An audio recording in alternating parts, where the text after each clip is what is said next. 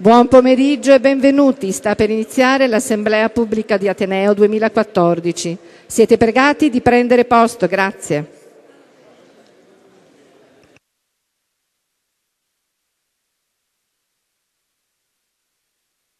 Buonasera. Buonasera a tutti quanti, grazie di essere intervenuti all'Assemblea, a tutti coloro che sono qui presenti. Oggi Abbiamo un pomeriggio denso, abbiamo un pomeriggio denso perché un'assemblea vuole essere sempre un momento in cui si possa dare al più possibile a tutti quanti la possibilità di intervenire e di ascoltare diverse cose. C'è sempre una voglia magari di dire troppo, quindi ci scuserete se ci saranno delle, dei tempi stretti da parte di tutti quanti quelli che sono previsti intervenire quali, i quali li ringrazio a partire da adesso. E comincerei proprio chiedendo il primo intervento al sindaco di Trento, Alessandro Andreatta, di poter prendere la parola. Grazie.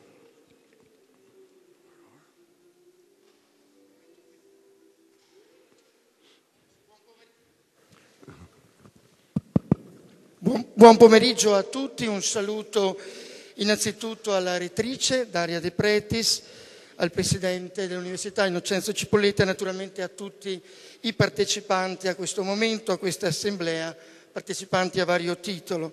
Ecco, io credo che questa assemblea d'Ateneo rende visibile, rende palese una cosa, una cosa molto semplice, spero un po' acquisita da tutti, e cioè che questa università è una università aperta, è un'università che è cresciuta con la città, con la città di Trento, ma anche con la città di Rovereto e che ha fatto crescere questa città. Credo ci sia davvero un rapporto importante, positivo, di osmosi e diventa difficile, anche quasi impossibile, credo, misurare gli scambi positivi e reciproci di questi decenni. Questa mattina in giunta eh, ho comunicato ai colleghi assessori che sarei stato con voi e dico ditemi qualcosa che posso magari narrare, ma dopo cinque che hanno parlato di rapporti con l'università in questi ultimi mesi e di prospettive per il futuro ho lasciato perdere, era una conferma insomma di rapporti e di scambi positivi e reciproci. L'Ateneo non è mai stato un campus, un campus chiuso, non è stata una realtà che non ha avuto rapporti con l'esterno, Credo invece che si possa dire che l'humus, ecco l'humus intellettuale che l'università ha portato, è stato un humus importante che ha favorito tante cose. Qualche volta mi chiedo, ma il Festival dell'economia ci sarebbe stato senza l'università? Qualche volta me lo chiedo anche del Muse, che pure è stata un'intuizione importante della politica, dell'amministrazione comunale e provinciale. E poi come sarebbe l'urbanistica, come sarebbero i servizi come sarebbe anche forse la direzione dello sviluppo che abbiamo intrapreso come città e come Trentino. Io credo che, almeno per Trento lo posso dire, Trento sarebbe un'altra cosa. Io credo che sarebbe anche qualcosa non solo di diverso, ma anche qualcosa di non sicuramente migliore, che vuol dire qualcosa di peggiore. Naturalmente però il rapporto è perfettibile e io credo che dobbiamo lavorare in questo senso perché studenti e docenti e tutti quanti quelli che lavorano per, questa, per questo nostro Ateneo non trovino qui soltanto un alloggio, una dimora, ma trovino invece quello che ci viene sempre chiesto come città, e cioè un, un ambiente e un contesto favorevole. Un ambiente e un contesto favorevole. Noi diamo molto quello che siamo, la nostra fisicità e anche la nostra qualità dei servizi. Vado rapidamente verso la seconda parte di questo breve intervento che è un esprimere mie, la mia soddisfazione per il fatto che avete scelto di preparare questa assemblea incontrando il mondo della scuola e il mondo del volontariato. A me pare questa una scelta assolutamente azzeccata, nel senso che gli studenti dell'università arrivano dalla scuola e, non dico molti, ma alcuni, molto probabilmente poi alla scuola tornano e quindi scuola e università devono poter andare d'accordo perché fanno parte di una stessa comunità educante e quindi il buon senso ci dice che questa direzione è una direzione giusta. Ma mi pare giusta e apprezzo e voglio sottolineare anche il rapporto università-volontariato, cioè il voler aver voluto riflettere su questo perché credo sia un connubio che va rafforzato. In occasione della presentazione del Festival dell'Economia ci è stato ricordato da un non trentino, ci ha fatto piacere, che forse il dato più significativo emerso da quel confronto tra le varie regioni italiane e per noi provincia di Trento è stato il dato sul volontariato. Abbiamo 22% di volontari tra le persone comprese tra i 14 anni e eh, finché si può andare avanti. È un dato molto importante. Uno su cinque di noi, di noi trentini, è un dato della provincia, è volontario. Allora io penso che ci sono vantaggi nel volontariato rapportarsi con l'università perché il volontariato ha bisogno di ricambio e quindi ha bisogno di energie giovani, vitali, anche creative, perché si può anche innovare nel volontariato ed è un vantaggio per l'università perché credo che possa avere un contatto, come dire, con la società concreta, non perché non ce l'abbia, ma può avercelo anche in questo modo. E credo anche che il volontariato sia una scuola importante di gratuità. E qualche volta dovremmo pensarci non nel senso semplicistico e magari negativo di gratuità, cioè non è il gratis così senza valore, ma è quella gratuità ben più importante, a mio avviso, che crea invece un valore più grande, un valore, se volete, infinito. Quindi dal gratis uguale a zero a una gratuità che vale tanto di più e che è un valore davvero grande e che è anche il valore che spesso ci porta a fare anche qualcosa di nuovo. Allora io chiudo dicendo che la città di Trento, penso di poterlo dire, è affezionata alla, all'università, è affezionata al suo Ateneo ed è legata anche a doppio filo. Noi siamo certi che se cresce l'università, se cresce l'Ateneo, cresciamo anche noi. Se l'Ateneo si impoverisce, ci perde anche la città. Quindi leggiamolo in positivo, in negativo, un di più di cultura, un di più di prestigio, un di più di relazioni, se posso dirlo anche un di più di eh, non di vantaggio, ma di situazione economica positiva, oppure un di meno. Io non ho dubbi verso quale direzione andare. Grazie.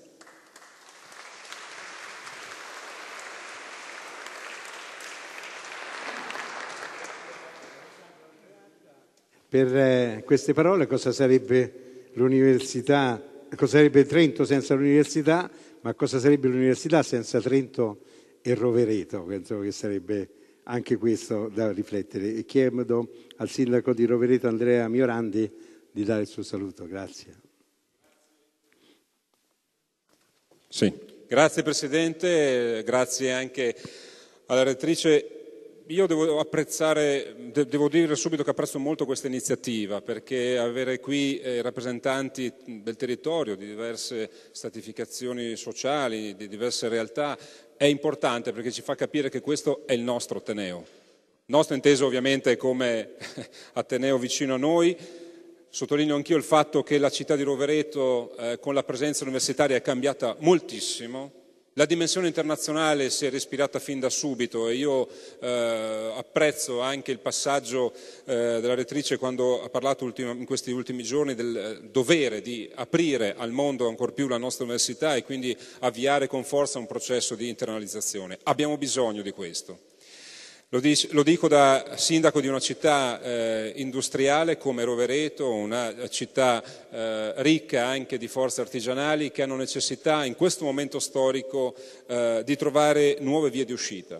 Anche il tema dell'assemblea qui posto da voi mi sembra molto interessante perché parlare di volontariato al giorno d'oggi significa stare al passo con i tempi. È ovvio che stiamo ribaltando il rapporto tra eh, governanti e governati, lo stiamo ribaltando in una logica eh, orizzontale di collaborazione. Penso al rapporto pubblico-privato, come deve sempre più crescere come opportunità nuova di sviluppo, come le imprese devono giocare con le istituzioni pubbliche queste. È ovvio che quindi l'università eh, è un supporto importante per queste nuove vie di sviluppo. Io eh, dico anche che ci sono sfide già a giocarsi eh, ancora, sono diciamo, alla, alla, fase embrionale come il progetto della meccatronica sulla città di Rovereto. Anche questo progetto è per noi un punto di riferimento, noi intesa come comunità trentina, non solo quella roveretana.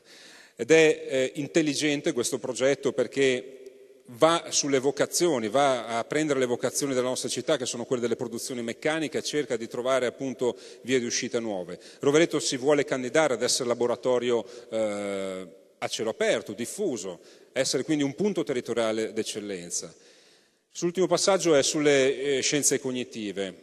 È, una perla, ce la vogliamo tenere stretta, per noi è stata un'importante opportunità di crescita collettiva.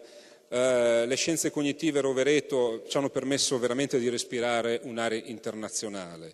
E anche qui abbiamo progetti con l'università, con la provincia importanti, faremo la nostra parte di sicuro e allora un'assemblea è anche il momento per ringraziare le istituzioni che stanno dando questa grande opportunità alla comunità di Rovereto, ovviamente la provincia autonoma di Trento e l'università. Io vi ringrazio e complimenti ancora per questa bellissima iniziativa. Grazie.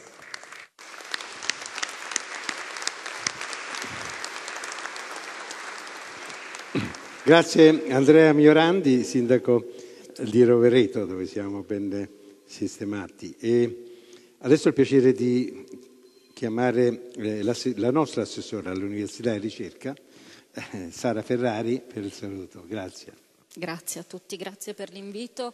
Non vi nascondo l'emozione di essere qui oggi e vedere rappresentata plasticamente la comunità trentina con la quale evidentemente questa università deve rapportarsi. Eh, non vi nascondo anche che eh, sento profondamente la responsabilità del ruolo che mi è stato assegnato.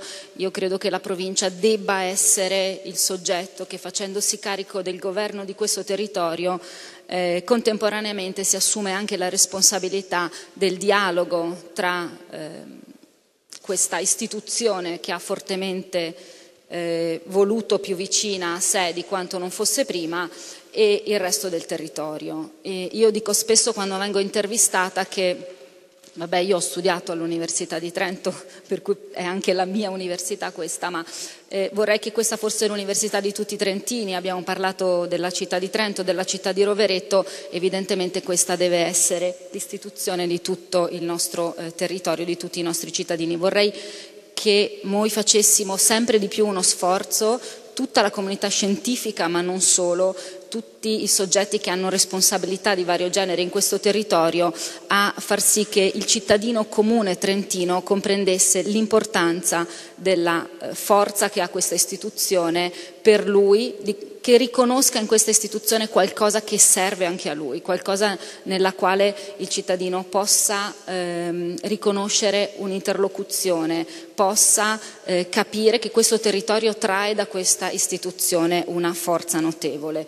Eh, io non mi preoccuperei e non mi preoccupo quando eh, sento la polemica che ehm, l'accordo di Milano ha provincializzato questa istituzione rendendola schiava della provincia.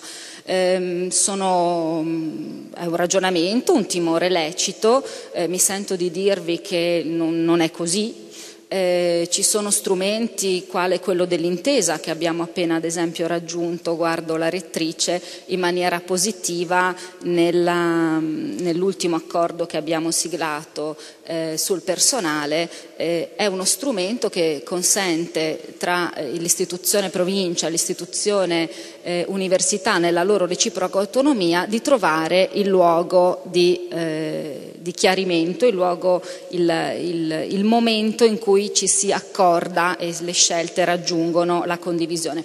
Qualora questo non si raggiungesse o non si fosse raggiunto, l'università avrebbe tranquillamente potuto, ad esempio, ehm, entrare dentro il patto di stabilità nazionale. Eh, evidentemente, se invece l'accordo si è trovato, è perché questo eh, portava convenienza ad entrambe le istituzioni, ma soprattutto all'università, che evidentemente avrebbe altrimenti potuto serenamente eh, compiere un'altra scelta. Eh, lo dico semplicemente perché è su questa strada che vogliamo lavorare, insomma vorrei fugare ogni dubbio. Eh, vorrei anche dirvi che sono stata recentemente eh, a Roma a parlare con il, il sottosegretario Reggi e eh, sul tema della, eh, diciamo così, della, scomparsa dell'Università Trentina a seguito della, della delega da determinati eh, risultanze insomma, di, di, di, classifiche nazionali, eccetera, e, e, questo comporta evidentemente anche tutto il ragionamento sul riparto dei fondi premiali, ma eh, ho trovato non solo un'ampia disponibilità a comprendere questo problema, ma anche a riconoscere che l'assenza dell'Università Trentina dentro eh, le classifiche italiane porta un di meno alla prestigio dell'università italiana in generale e quindi la consapevolezza piena anche a livello nazionale del gioiellino che noi abbiamo qui in casa.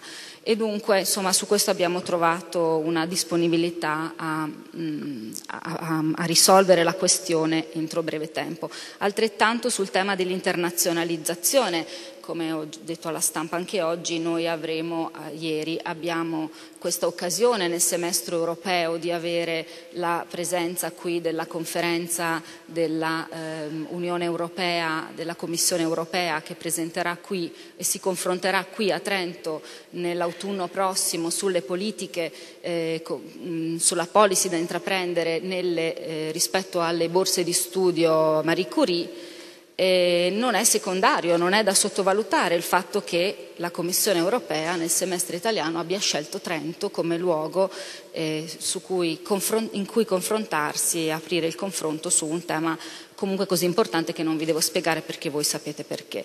Ecco, quindi io mh, vi ringrazio per questo invito, eh, lavoro in questa direzione, eh, sono eh, volentieri a disposizione come eh, in un ruolo anche di eh, mediatrice se serve, non voglio essere troppo eh, arroganti in questo, ma tra il mondo, perché io credo molto in questo, il mondo trentino nelle sue varie sfaccettature e questa istituzione. Penso di poter anche interpretare così il mio ruolo. Grazie.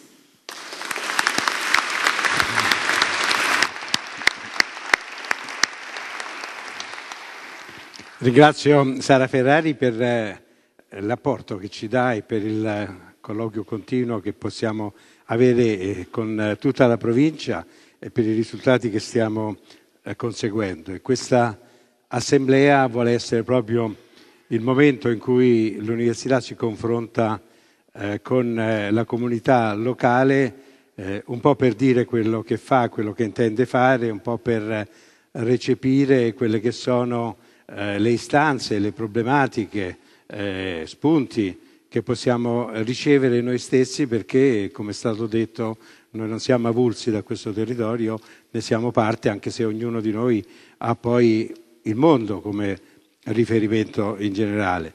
Ecco, l'anno scorso noi avevamo fatto questa assemblea parlando dell'università come fabbrica del futuro, perché lavoriamo sui giovani che sono coloro che sarà la classe dirigente di domani, lavoriamo sulle ricerche di base che sono le basi della tecnologia che domani eh, ci riguarderà. Evidentemente l'anno scorso era una prima esperienza, l'avevamo fatta subito per eh, rispondere al dettame dello statuto e poi eh, ci siamo preparati per la seconda assemblea che è questa e questa seconda assemblea abbiamo voluto che sia preceduta da incontri tematici. Abbiamo pensato che eh, l'idea di fare un'assemblea ogni anno, ogni 365 giorni e poi non vedersi più all'interno di questi 365 giorni non era il miglior modo per condurre un'assemblea, sarebbe stata una cerimonia dove si celebravano, che ne so, i fasti dell'università oppure si sarebbe dato luogo alle critiche nei confronti dell'università, ma il tutto poi si sarebbe esaurito in queste due o tre ore e eh, ci saremmo rivisti tra un anno. Ecco. Allora abbiamo pensato invece un nuovo sistema di fare questa assemblea, di eh, farla precedere e seguire da incontri con eh, le diverse comunità, in maniera tale da avere un momento di confronto eh, per vedere che cosa si è fatto insieme, che cosa si può fare, cosa va bene e cosa invece è da correggere. E i primi due incontri che abbiamo fatto, come è stato anche ricordato, riguardano il mondo della scuola e il mondo eh, del volontariato. E è stato eh, molto interessante per chi ha potuto seguirlo e chiunque lo potrà seguire perché sul sito ritrova eh, questi momenti che sono stati ripresi e quindi sono sempre fruibili da chi li vuole vedere, perché questo ci ha consentito di identificare eh, non soltanto appunto, carenze e alcuni punti dove possiamo migliorare quello che già facciamo, ma anche nuove iniziative, nuove eh, proposte. E quindi abbiamo pensato che l'assemblea era anche il momento in cui noi potevamo in qualche maniera tirare le fila di questo discorso. Evidentemente non ci fermeremo qui perché finita questa assemblea incontreremo altre eh, comunità eh, del, eh, del, Trentino che possono essere le imprese, il mondo del lavoro, eh, il mondo della cultura, il mondo dello sport, le amministrazioni eh, e altre ancora, in maniera tale che eh, l'evento assemblea sia il momento culminante di un processo che duri tutto quanto l'anno e consenta di eh, tirare su delle proposte, delle iniziative che poi ci sarà il tempo di portare avanti. In questa maniera noi pensiamo di integrarci meglio eh, con il territorio, sempre eh, rimanendo ognuno evidentemente nelle proprie esperienze, nelle proprie capacità, ma di avere un dialogo continuo. E proprio per avere un dialogo continuo eh, ricorreremo anche alle nuove strumentazioni tecnologiche, quindi cerchiamo di fare un sito, stiamo lavorando e cercando di capire come farlo nel miglior modo possibile per poter avere da parte di tutti quanti la possibilità di esprimere alcune proposte, di, eh, di dare alcuni consigli e noi stessi di recepirle e magari, perché no, di testare qual è il gradimento di alcune eh, soluzioni. L'università in questa maniera diventa un grosso orecchio che può ascoltare eh, tutte quelle che sono le istanze del territorio, non ci pensiamo certo di risolvere tutti quanti i problemi, ma pensiamo in questa maniera di poter progredire noi e dare un miglior contributo a quello che è il territorio. Ovviamente questo modo di fare l'assemblea è sperimentale perché stiamo cominciando e quindi vale anche il principio che chiunque abbia dei suggerimenti da darci per poterla portare al miglior modo possibile, in modo da rispondere allo spirito più che alla lettera del nuovo statuto, che era quello di avere dei momenti di raccordo diretto con tutta la comunità. Quindi vi ringrazio di questo vi volevo parlare, di questo nuovo modo di fare l'assemblea, nella quale cercheremo di tirare le somme di questi incontri, però vi daremo anche alcune informazioni di quello che stiamo facendo eh, e inizieremo proprio adesso con, eh, cedo la parola a Daria De Fredis, la rettrice dell'università, perché vi parlerà anche del piano strategico che è eh, un primo atto della, dello statuto che è stato elaborato e che io ringrazio tutta l'università per questo patto. A te Daria, grazie. Grazie.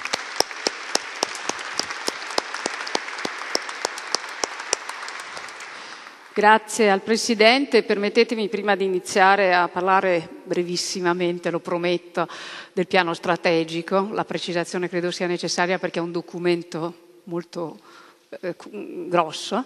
Eh, permettetemi di ringraziare eh, il Sindaco di Trento, il Sindaco di Roveretto e soprattutto, in particolare vorrei dire l'assessora eh, all'Università e alla ricerca Sara Ferrari per le loro parole e direi che in particolare le parole del nostro assessore all'università eh, non hanno bisogno di nessuna aggiunta per illustrare lo stile dei nostri rapporti, eh, che è uno stile, come eh, avete sentito, molto leale e di grande attenzione da parte della provincia nei nostri confronti, come si è eh, manifestato anche nel patto di stabilità che è stato ricordato da Sara Ferrari, che abbiamo appena concluso Università Provincia e che eh, ci consente davvero di poter contare su risorse essenziali per la nostra vita e il nostro sviluppo.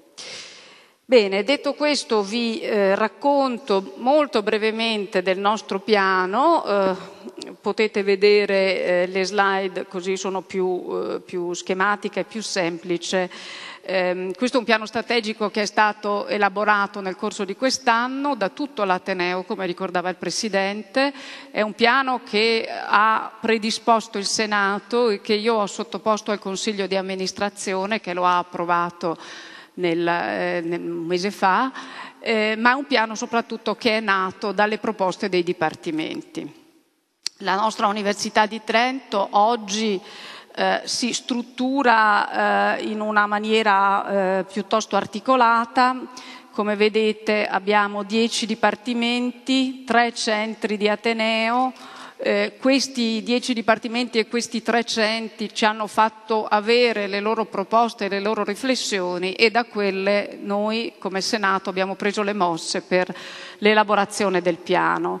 Vedete eh, altri due numeri che considero particolarmente significativi, 60 laboratori, 14 corsi di dottorato, eh, abbiamo 25 corsi di laurea eh, triennale e, e, e di laurea ciclo unico e 29 corsi di laurea magistrale.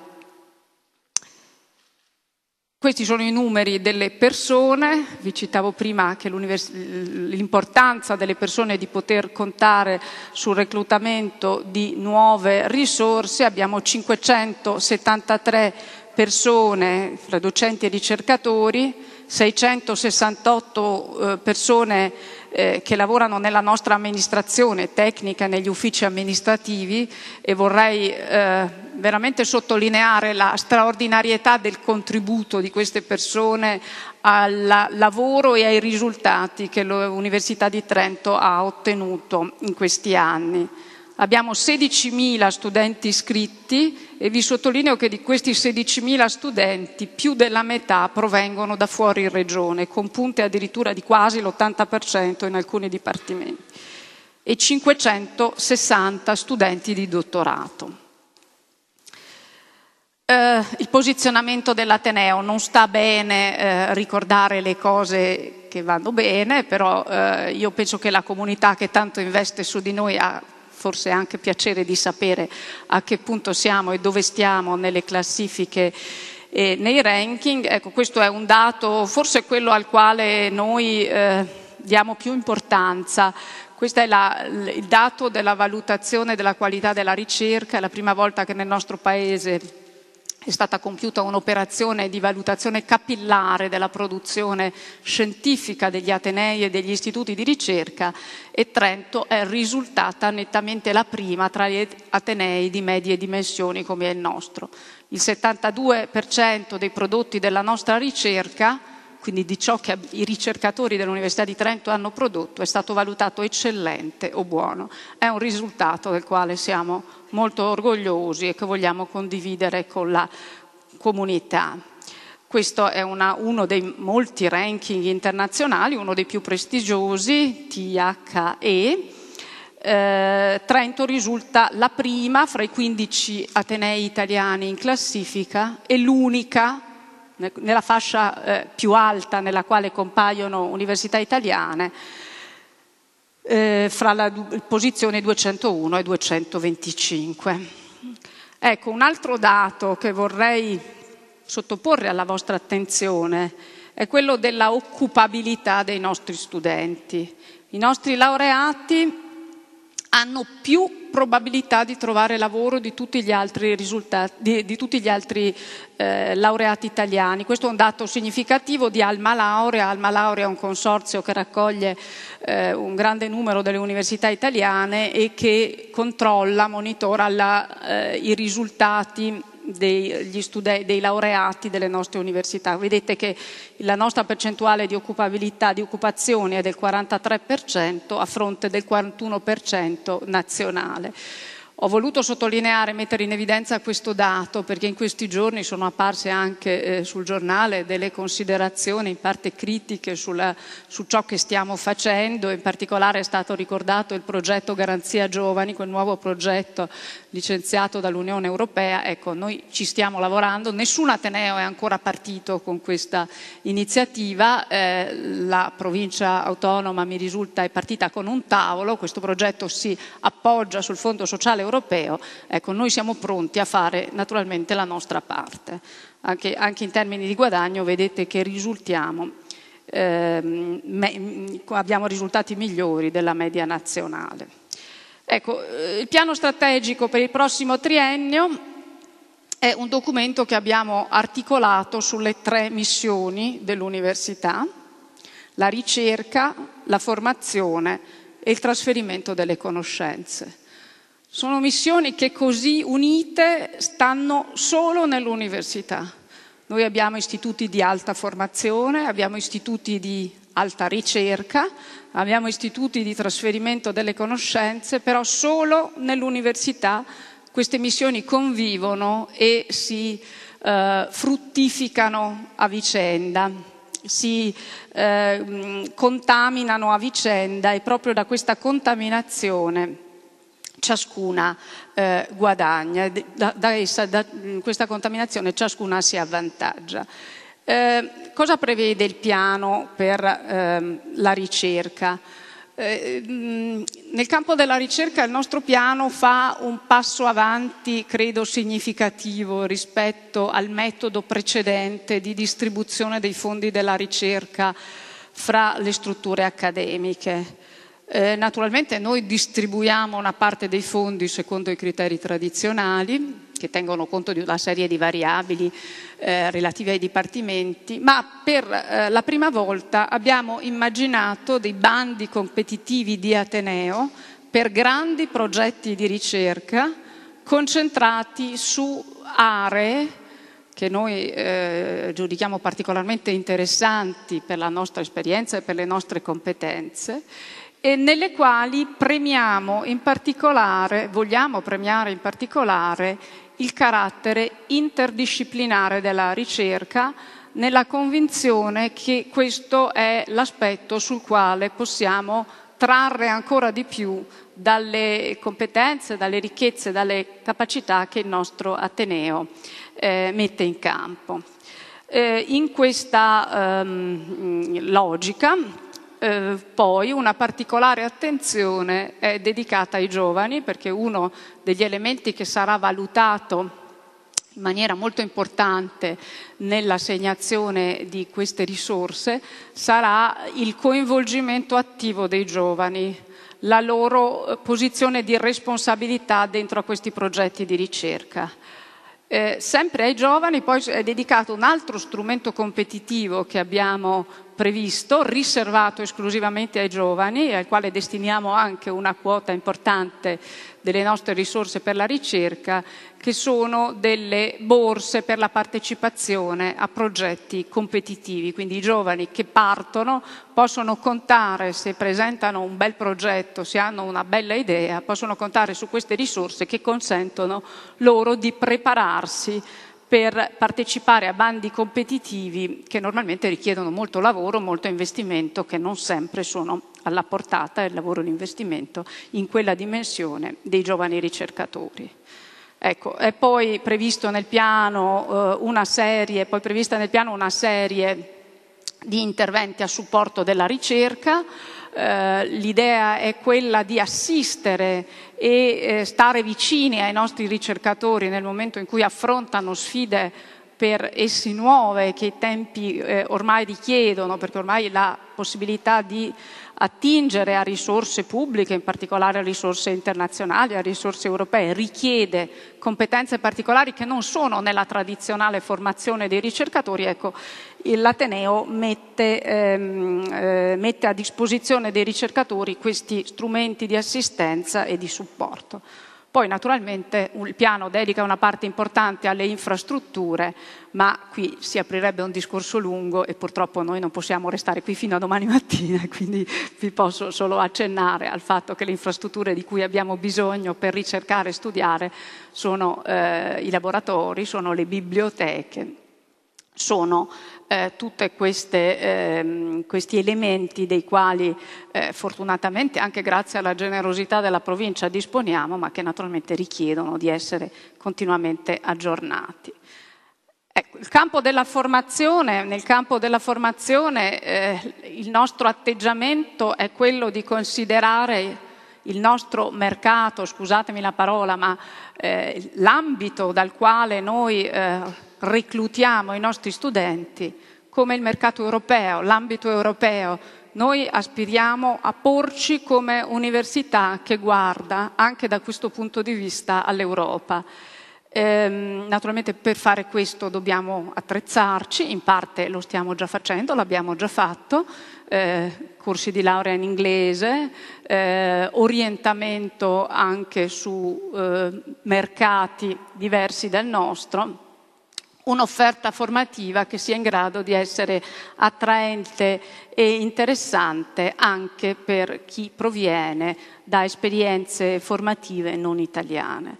Naturalmente poi eh, sono previste tante misure di arricchimento dell'esperienza formativa degli studenti, eh, sempre più noi abbiamo la percezione che il mercato del lavoro richieda che i laureati siano attrezzati anche su versanti diversi da quello della stretta competenza scientifica del loro ambito disciplinare.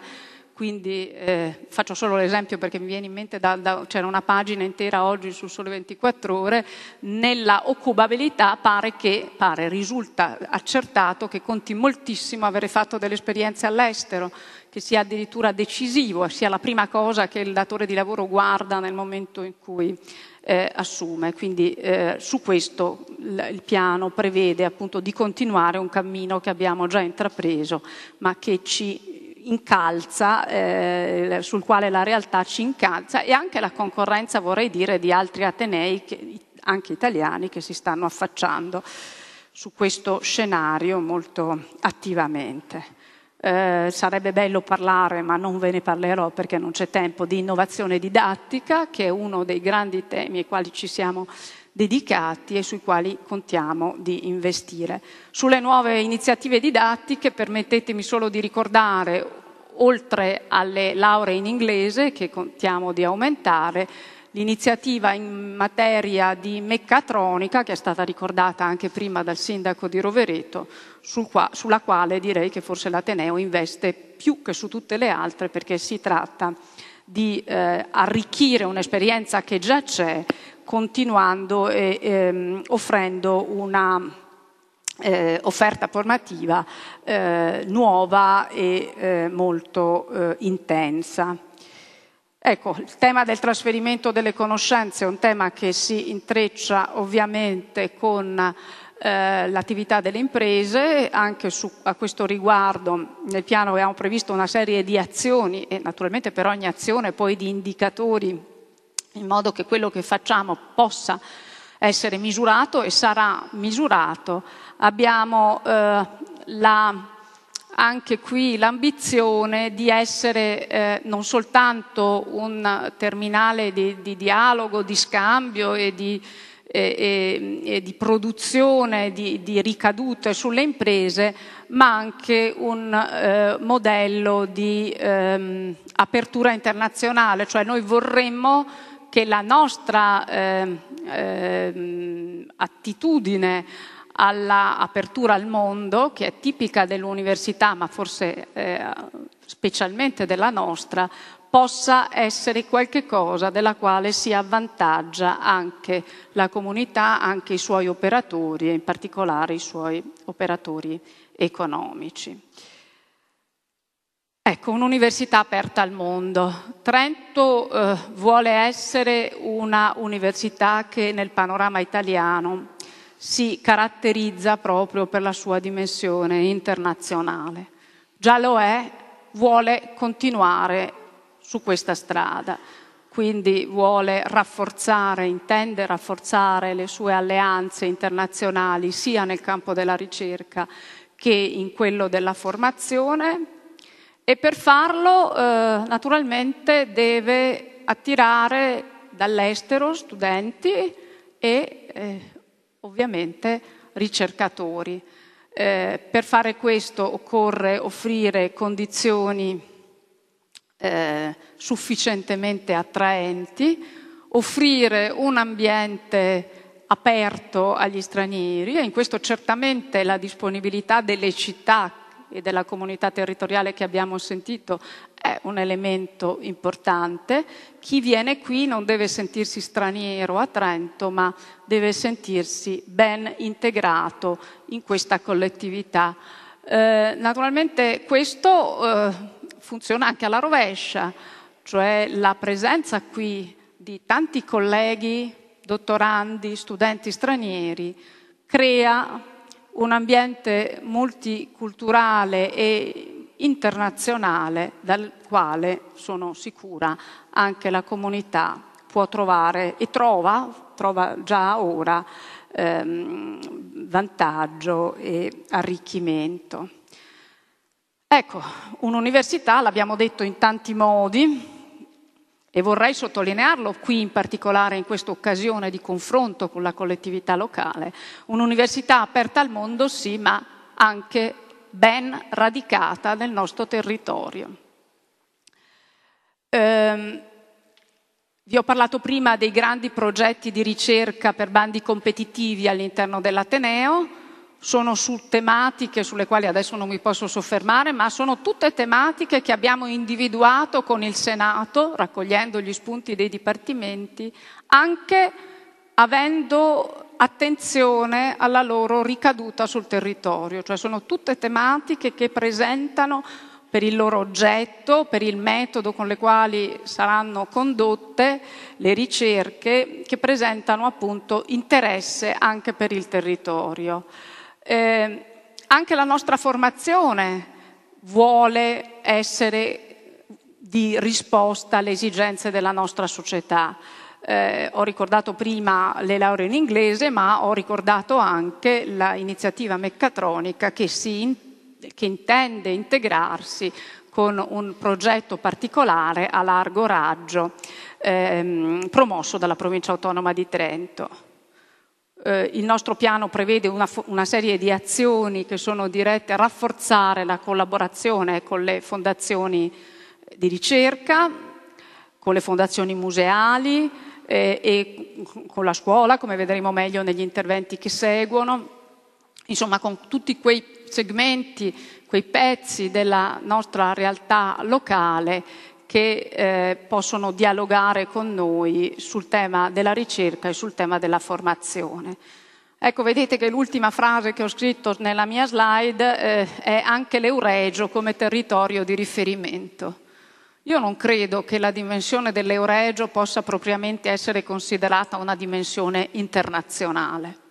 Io credo che la dimensione dell'Euregio vada considerata come una dimensione eminentemente territoriale e locale, cioè l'Euregio è il nostro territorio di riferimento, vorrei che fosse il nostro territorio di riferimento dal quale poi muovere per affrontare la dimensione globale. Ecco, io credo che dovremmo piano piano cominciare a muoverci pensando che nostro, la nostra comunità territoriale di riferimento è sì il Trentino, naturalmente, ma è destina, destinata a diventare anche questa comunità transnazionale, transalpina, più ampia che costituisce forse anche per noi un bacino di riferimento territoriale più adeguato eh, alle cose eh, che siamo in grado di fare, naturalmente in dialogo costante e proficuo, come è già ora, con gli Atenei di, quella, eh, di questo eh, compendio regionale, quindi Bolzano e Innsbruck. Ecco, eh, mi avvio a concludere. L'università è università di persone, l'ho detto prima, lo, lo ridico, eh, le persone sono i docenti, sono gli studenti, eh, sono tutte le persone che dentro all'amministrazione dell'università lavorano, lavorano intensamente, lavorano duramente, lavorano a volte in condizioni non, eh, non facili. E mh, penso in particolare al personale tecnico e amministrativo che eh, ehm, sconta eh, purtroppo ancora una percentuale di turnover che è quella generale della pubblica amministrazione eh, nazionale molto bassa e fortemente penalizzante, ma, che nonostante questo sta veramente dando eh, il meglio di sé con grande generosità per consentirci di lavorare al meglio.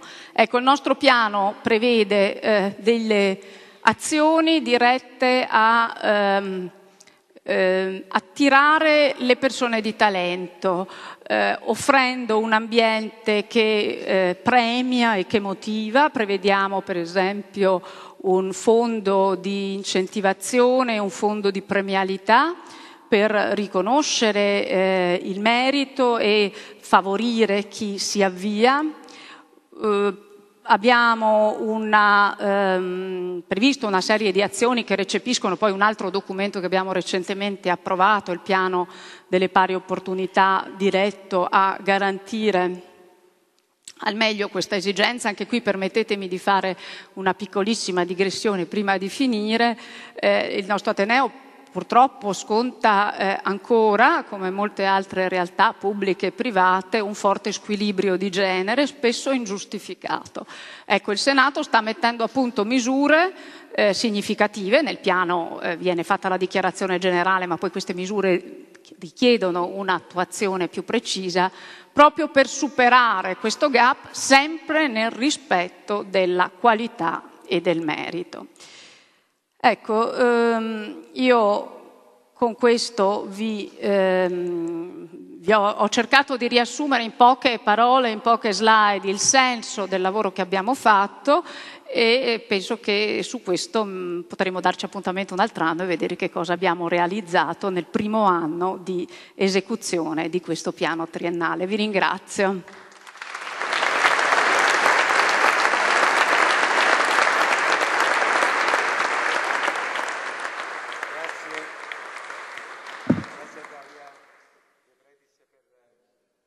Per questa presentazione del piano strategico di cui poi parleremo in un breve momento di discussione, ma ora vorrei dare la parola al Presidente Ugo Rossi.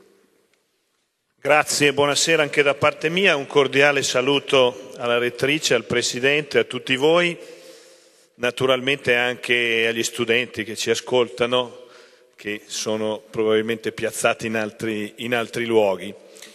Ehm, io comincio con un grazie, se permettete, e lo faccio a nome del Trentino, a nome della comunità trentina. È il grazie che va alla nostra università, al suo presidente, alla rettrice, ma insomma a tutti i docenti, ai ricercatori, agli studenti, al personale amministrativo, perché se è vero che Assessora Ferrari, noi siamo un po' in difficoltà nel senso che non ci elencano più no? in, certe, in, certe, graduatorie che sono le, graduatorie dei benefici. Per la verità siamo ormai abituati ad essere elencati nelle graduatorie dei sacrifici, in quelle non manchiamo mai. No? Naturalmente sottolineo questo aspetto perché è un aspetto sul quale dobbiamo assolutamente lavorare assieme, d'altronde lo stiamo già facendo e dobbiamo evitare nel modo più assoluto che ci sia un alibi da parte dello Stato o da parte del Ministero nel considerare che siccome c'è stato un cambiamento no, nell'assetto della nostra università, questo poi si traduca in un minore trasferimento di risorse statali che pure sono dovute. Ecco, su questo non retrocederemo di un millimetro. Dicevo un grazie in modo particolare, però l'ha detto prima la rettrice, l'avrei detto io, perché ci sono altre graduatorie che sono lì assolutamente evidenti e oggettive a dimostrare come il lavoro che si fa qui dentro è un ottimo lavoro. Eh, è un ottimo lavoro anche per quanto riguarda la presa diretta con la nostra società trentina, rispetto alla quale, insomma, anche grazie alle nuove norme credo abbiamo potuto avviare un percorso sempre più virtuoso, mi auguro, e so che questo è impegno preciso della rettrice, del Presidente e di tutti, e di tutti voi. E poi il grazie perché qui eh, voi contribuite a costruire quel capitale umano che è il primo fattore su cui dobbiamo contare per cercare di guardare con un po' più di fiducia al futuro. E qui esce un capitale umano certamente preparato, le eh, classifiche lo dimostrano, certamente competente, esce un capitale umano anche però consapevole, mi pare di poter dire, e l'aggancio che avete voluto con il mondo del volontariato, con il tema del volontariato, credo che migliori ulteriormente questo aspetto. Noi abbiamo bisogno di persone che abbiano gli strumenti fondamentali nelle loro mani per affrontare il futuro, ma che sappiano anche interpretare e leggere la realtà per quello che è, con le sue contraddizioni, la realtà locale, ma la realtà locale che sa guardare anche a livello globale. E il tema del volontariato è un aspetto identitario del nostro territorio e del suo popolo che assolutamente è di per sé stesso un fattore di competitività, perché rende le persone più consapevoli da una parte e più aperte e più abituate a mettersi in relazione con gli altri, che è uno degli elementi, degli assi strategici del vostro, del vostro piano. C'è poi il tema della scuola che, come sapete, mi è particolarmente, eh, particolarmente caro. Eh, avete con questa scelta anche un po' anticipato, se volete, le scelte che poi abbiamo fatto a livello organizzativo come provincia, costituendo il Dipartimento della Conoscenza, dove dentro ci sono scuola e università. Cosa significa questo? Significa che abbiamo delle sfide da affrontare assieme, alcune sono state ricordate, la sfida è soprattutto quella di fare in modo che scuola e università si occupino dei ragazzi anche in relazione a ciò che dovranno fare dopo. E quindi la scuola deve occuparsi dei ragazzi in relazione a ciò che potranno fare all'università e viceversa, ma entrambe devono occuparsi dei ragazzi in relazione a ciò che devono poter mettere in campo per affrontare il mondo del lavoro.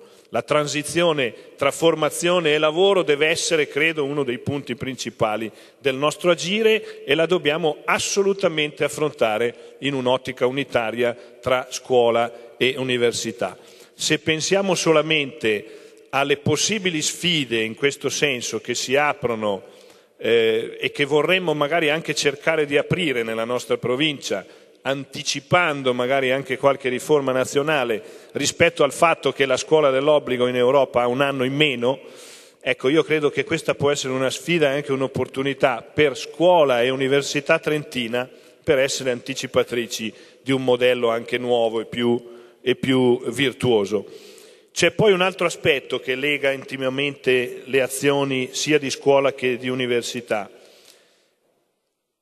la questione della formazione degli insegnanti nella strategia di sviluppo della carriera del corpo docente. Noi abbiamo la necessità anche nella scuola come nell'università di valorizzare il merito e allora abbiamo bisogno di, un, di un'università che in termini formativi ma anche in termini valutativi ci dia gli strumenti per saper valorizzare il merito degli insegnanti nella nostra, nella nostra scuola. Il tema del merito e della competitività è molto presente nel vostro piano strategico e a me fa particolarmente piacere che, eh, sia, eh, che sia così. Io concludo dicendo che è su questa frontiera del merito che dovremo saperci misurare ed è un tema questo che riguarda anche ciò che l'università deve restituire al territorio. Credo che la scelta del piano strategico vada esattamente in questa direzione. Io sono qui per dirvi oggi che naturalmente come provincia di Trento non intendiamo smobilitare rispetto al tradizionale impegno a fianco della nostra università, ma sono anche altrettanto a dirvi in maniera franca e sincera che abbiamo bisogno di strumenti come il piano strategico che ci consentano tutti assieme di valutare e di misurare il nostro operato per rendere conto ai cittadini, ma possibilmente per migliorare. Abbiamo margini di miglioramento e i margini di miglioramento stanno nella capacità che avremo di mettere in atto quelle azioni che la rettrice prima ha descritto. È in questi termini che la provincia di Trento sarà al vostro fianco per affrontare le sfide del futuro. Buon lavoro e buon anno.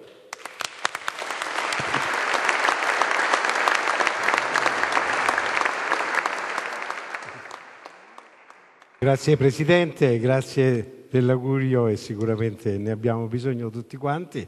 Um, il, vi è stato presentato un schema di assemblea nuovo e un piano strategico che poi si declina in azioni e obiettivi, quindi eh, abbastanza complesso e articolato. E quindi su questo eh, chiedo se ci sono delle domande, delle voglie di intervento da parte del, del pubblico eh, qui presente, così interrompiamo un momento la sequenza dei saluti e delle presentazioni per vedere se ci sono sollecitazioni che possono venire dal pubblico stesso.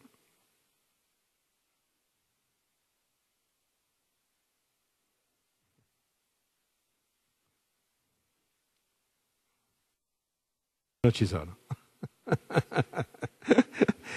Avete avuto tutte le spiegazioni che erano state possibili e immaginabili. no, mi rendo conto che non è facile intervenire eh, eh, a metà, però preparatevi, perché se ci saranno altri momenti in cui mi fermerò con aria imbarazzata a chiedere se ci sono interventi da parte del pubblico e quindi qualche d'uno magari che mi dà una mano penso di trovarlo. Allora, eh, proseguiamo con i nostri lavori in questo momento noi abbiamo pensato di darvi in maniera visiva, attraverso un breve filmato, cioè due brevi filmati avevamo preparato, nel quale abbiamo cercato di dire quello che eh, la ricerca che sta facendo l'università in questo momento avrà e ha come impatto sulla vita nostra, sulla vita futura nostra, perché come dicevo la ricerca che si svolge all'università è spesso una ricerca di base, ma che è la base per quelle che sono le nuove tecnologie che saranno, che saranno presenti. Vi devo anche dire che sui tavoli avete un segnalibro che un, si chiama un, un, un Q-code.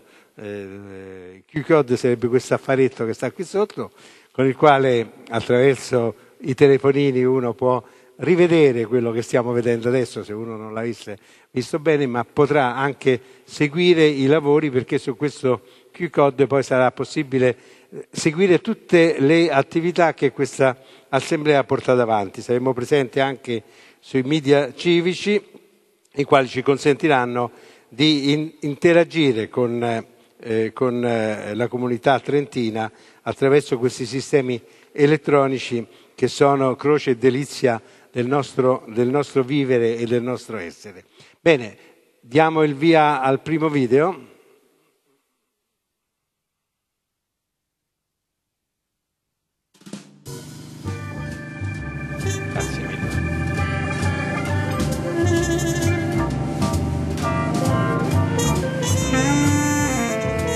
Guido e penso che oggi la ricerca è quasi ovunque nei luoghi che frequentiamo, nei gesti che facciamo, negli oggetti che maneggiamo.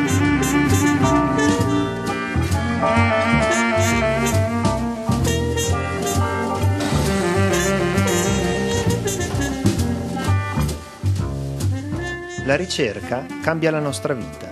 Spesso non ci pensiamo, ma c'è ricerca anche nel cibo che mangiamo, nei contenitori per venderlo, nelle etichette che ne tracciano la provenienza, nei modi in cui lo paghiamo inserire i contanti selezionare il tipo di pagamento. Ieri si chiamavano invenzioni e non innovazioni.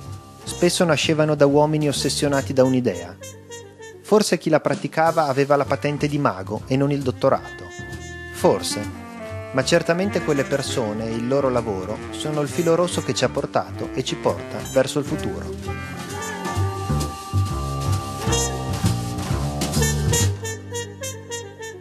Tutti voi conoscete l'anidride carbonica, che è un gas fondamentale per la vita e per la fotosintesi, utilizzato nelle industrie alimentari per rendere frizzanti bibite o acqua minerale. In condizioni supercritiche la CO2 presenta delle caratteristiche chimico-fisiche intermedie tra quelle di un liquido e quelle di un gas, diventa un fluido e queste caratteristiche lo rendono particolarmente interessante per svariate applicazioni nel mondo della ricerca industriale.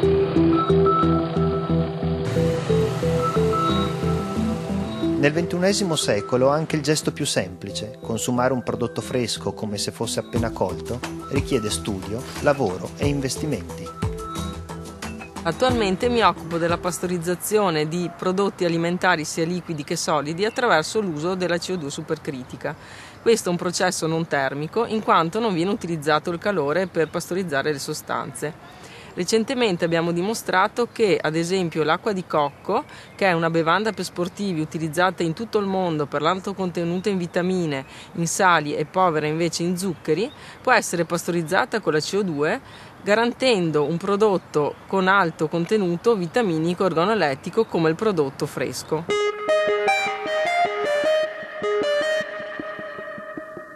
Questo progetto potrà avere ricadute dirette nel mondo industriale alimentare e anche i premi vinti dal mio gruppo di ricerca come il premio Montano Ferrarini testimoniano l'interesse scientifico per queste tematiche di ricerca.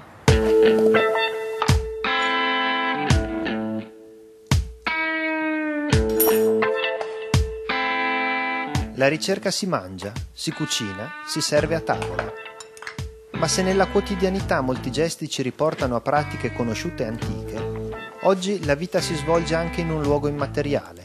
Internet è una realtà governata dai numeri dove compiamo azioni reali, azioni che certi algoritmi proteggono e certi altri minacciano.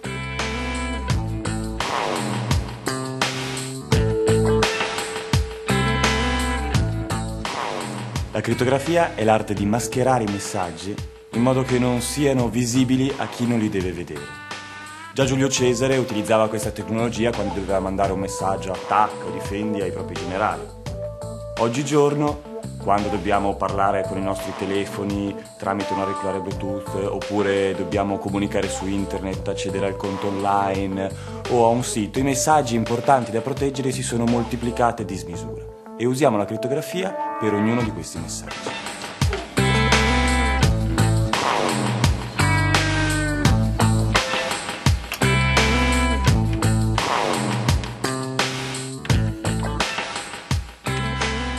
Navigazione su internet ci sono algoritmi crittografici standard che proteggono i dati degli utenti e le informazioni scambiate, come per esempio i dati della carta di credito, i dati del conto online, cose di questo tipo. Purtroppo i standard usati su internet eh, sono soggetti a numerose debolezze e attacchi. Per questo motivo banche e altre grandi realtà si rivolgono a noi per creare algoritmi ad hoc che permettono a doppia cifratura, con un doppio lucchetto, per proteggere dati veramente importanti. Oltre a queste applicazioni finanziarie ci occupiamo della protezione di dati ultrasensibili, come ad esempio i dati sanitari, eh, i dati biometrici. Abbiamo fatto anche un progetto con la provincia proprio per la protezione dei dati sanitari eh, pubblici. La ricerca è un modo di guardare la realtà e i satelliti possono essere utilizzati come occhi per osservare la Terra da una diversa prospettiva. I dati raccolti dallo spazio e poi studiati sulla Terra servono a monitorarne la vita.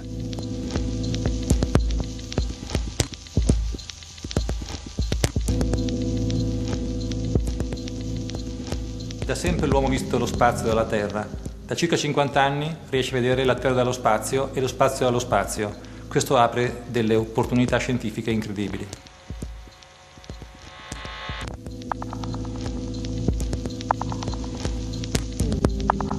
Il progetto di ricerca di cui mi sto occupando da parecchi anni con la Cina, finanziato dall'Agenzia Spaziale Italiana e dagli NFN, l'Istituto Nazionale di Fisica Nucleare, riguarda lo sviluppo di uno strumento da mettere in orbita fra due anni dedicato al monitoraggio sismico dallo spazio, un nuovo metodo mai realizzato in precedenza. Ci sono indicazioni che le particelle intrappolate nelle fasce di Van Allen, il campo magnetico intorno alla Terra, nelle vicinanze di un terremoto precipitano verso, verso la Terra come una pioggia che il satellite può intercettare, misurare e può essere utilizzato per il monitoraggio sismico. Se questo metodo manterrà le promesse, sembra molto interessante, avremo la possibilità di avere nuovi strumenti per monitorare globalmente il fenomeno sismico su tutta la Terra. Ciò che dallo spazio non si può invece vedere è la nostra storia, secoli di eventi che hanno tracciato i confini delle nazioni e modificato il paesaggio in cui viviamo. I fiumi sono uno degli elementi più dinamici del nostro paesaggio. Questa dinamicità adesso è cambiata perché l'uomo l'ha dovuta controllare per le proprie esigenze E per gestire al meglio i fiumi, però, è fondamentale ricostruire la storia dell'interazione fra l'uomo e il corso d'acqua.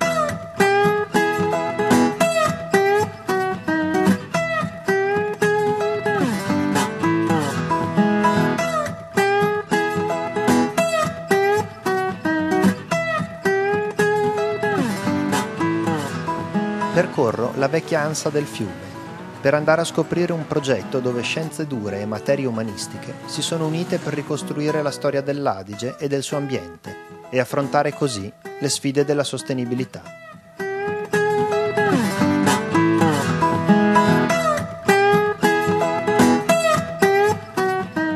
Il progetto ECH 2000 ha l'ambizione di ricostruire la storia morfologica dell'Adige negli ultimi 2000 anni.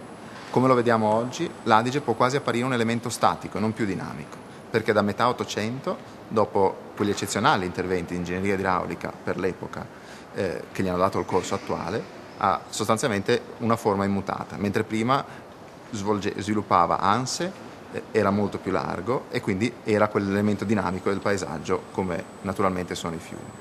Il progetto è particolarmente innovativo sul piano europeo, perché se sono state già fatte ricostruzioni dell'evoluzione morfologica di grandi fiumi come il Reno, questo è uno dei primi eh, in cui le scienze fisiche, geologiche e umanistiche collaborano insieme per questo ambizioso obiettivo.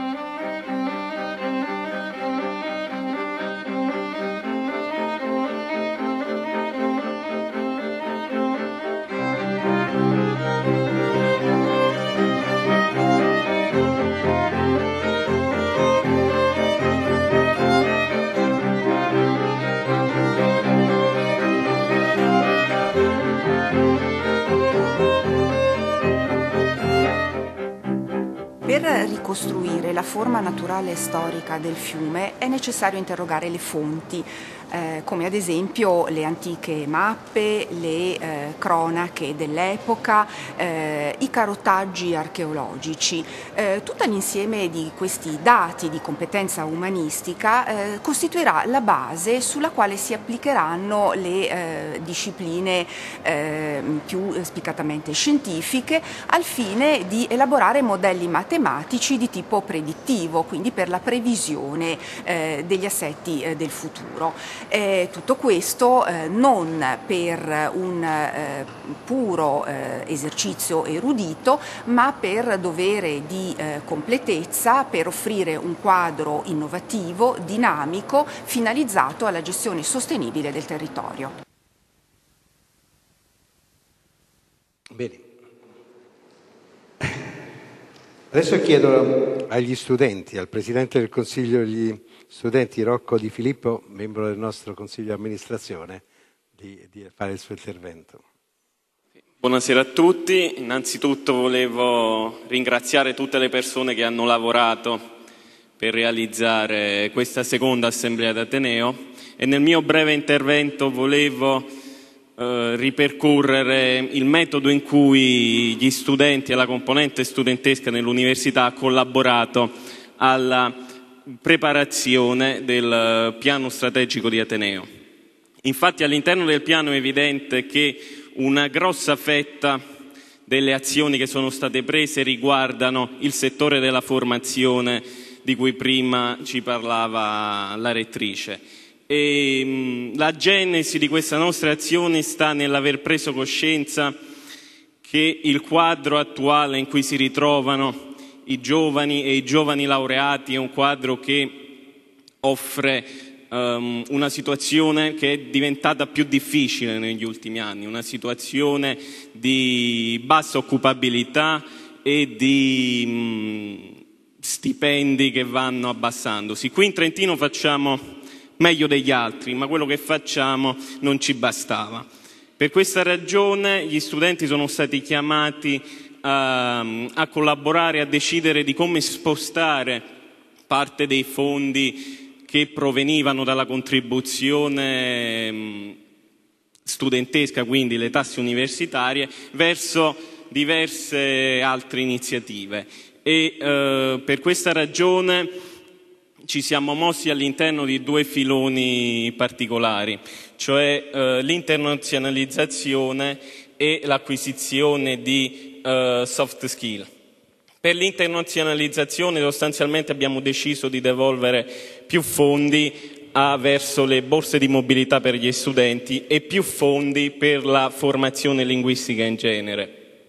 Per le soft skill sostanzialmente abbiamo deciso di fornire ai nostri studenti delle abilità che non fossero quelle convenzionali dei corsi di studi eh, convenzionali, ma fossero abilità come il rapporto, il rapporto umano, il rapporto con i colleghi, il rapporto con le istituzioni, la capacità di comunicare, quindi una serie di abilità che è sempre più richiesta all'interno del mondo del lavoro. E messi assieme questi due filoni creano non solo dei professionisti migliori, più ricercati dal mondo del lavoro, più pronti a competere su tutto lo su tutto il territorio europeo, ma creano anche dei cittadini migliori, quindi dei cittadini che eh, saranno chiamati a vivere e contribuire um, al benessere di questo territorio. E, um, concludo il mio intervento dicendo che sostanzialmente noi abbiamo affrontato la crisi prendendola di petto, cioè eh, investendo, investendo in, um, in uno dei pochi, dei pochi settori che offre, offre sempre un ritorno molto alto, cioè l'investimento sul capitale umano, come diceva prima il, um, il Presidente della Regione. Noi abbiamo, noi abbiamo, quindi investito sul nostro capitale umano, che sono i nostri studenti, e abbiamo deciso di dargli qualcosa in più, quindi di utilizzare queste risorse per renderli più competitivi sul mercato professionale nel tentativo di creare anche dei cittadini migliori. Grazie a tutti.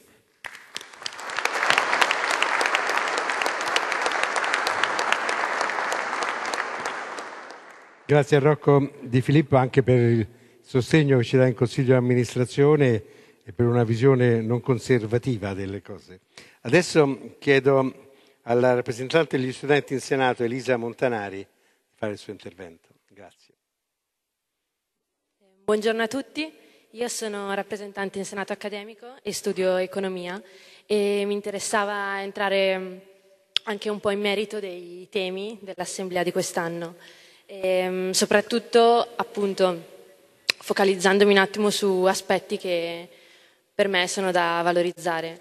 Innanzitutto riflettendo sul passaggio dalla, dalla, scuola all'università e vedendo come questo è un momento delicato nella vita di un ragazzo eh, lavorando anche con eh, gli, altri, gli, altri, rappresentanti o gli altri studenti proprio su questo tema, ci siamo chiesti che cosa abbiamo più a cuore, che cosa ci interessa portare e fare. E, um, innanzitutto io vedo che um, un primo aspetto è sicuramente quello di valorizzare la persona e soprattutto poter comunicare che l'università non è solamente un luogo dove immagazziniamo conoscenze o, oppure io che studio economia, modelli economici piuttosto che matematici, ma un luogo di costruzione umana.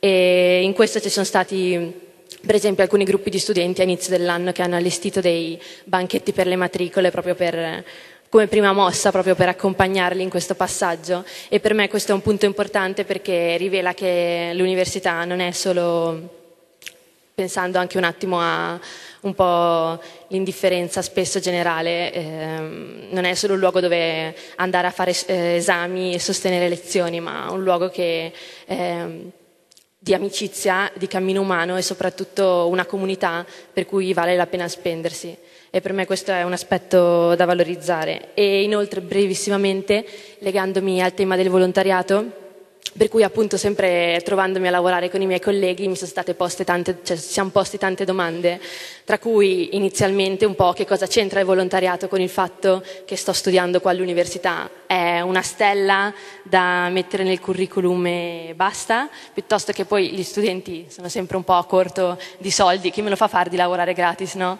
E, ehm, per cui è stato molto interessante perché mm, proprio nel dialogo io posso rispondere a queste domande a partire dalla mia esperienza di rappresentanza anche in Senato, per cui mm, legandomi appunto al tema del volontariato, che all'inizio magari uno si, si muove eh, perché ha, cioè, ha, esigenza di mettersi al servizio, di, di, collaborare a costruire qualcosa, ma poi scoprendosi in azione uno si scopre arricchito. E per cui per me questo è un, è un punto molto importante perché cioè, rivela il valore vero del, del volontariato, che magari non è, non è la prima cosa che ti fa muovere, ma sicuramente è ciò che che ti fa continuare a muovere quando ti scontri con il limite tuo piuttosto che con il limite dell'altro, quando sembra che la tua azione non, non, abbia subito risultati concreti. Per cui appunto da una parte nel passaggio della scuola poter eh, valorizzare la persona e, e rispondere a, a, un bisogno di uno che effettivamente deve decidere per la sua vita e dall'altra nel volontariato scoprirne il valore più vero. Per cui grazie dell'attenzione.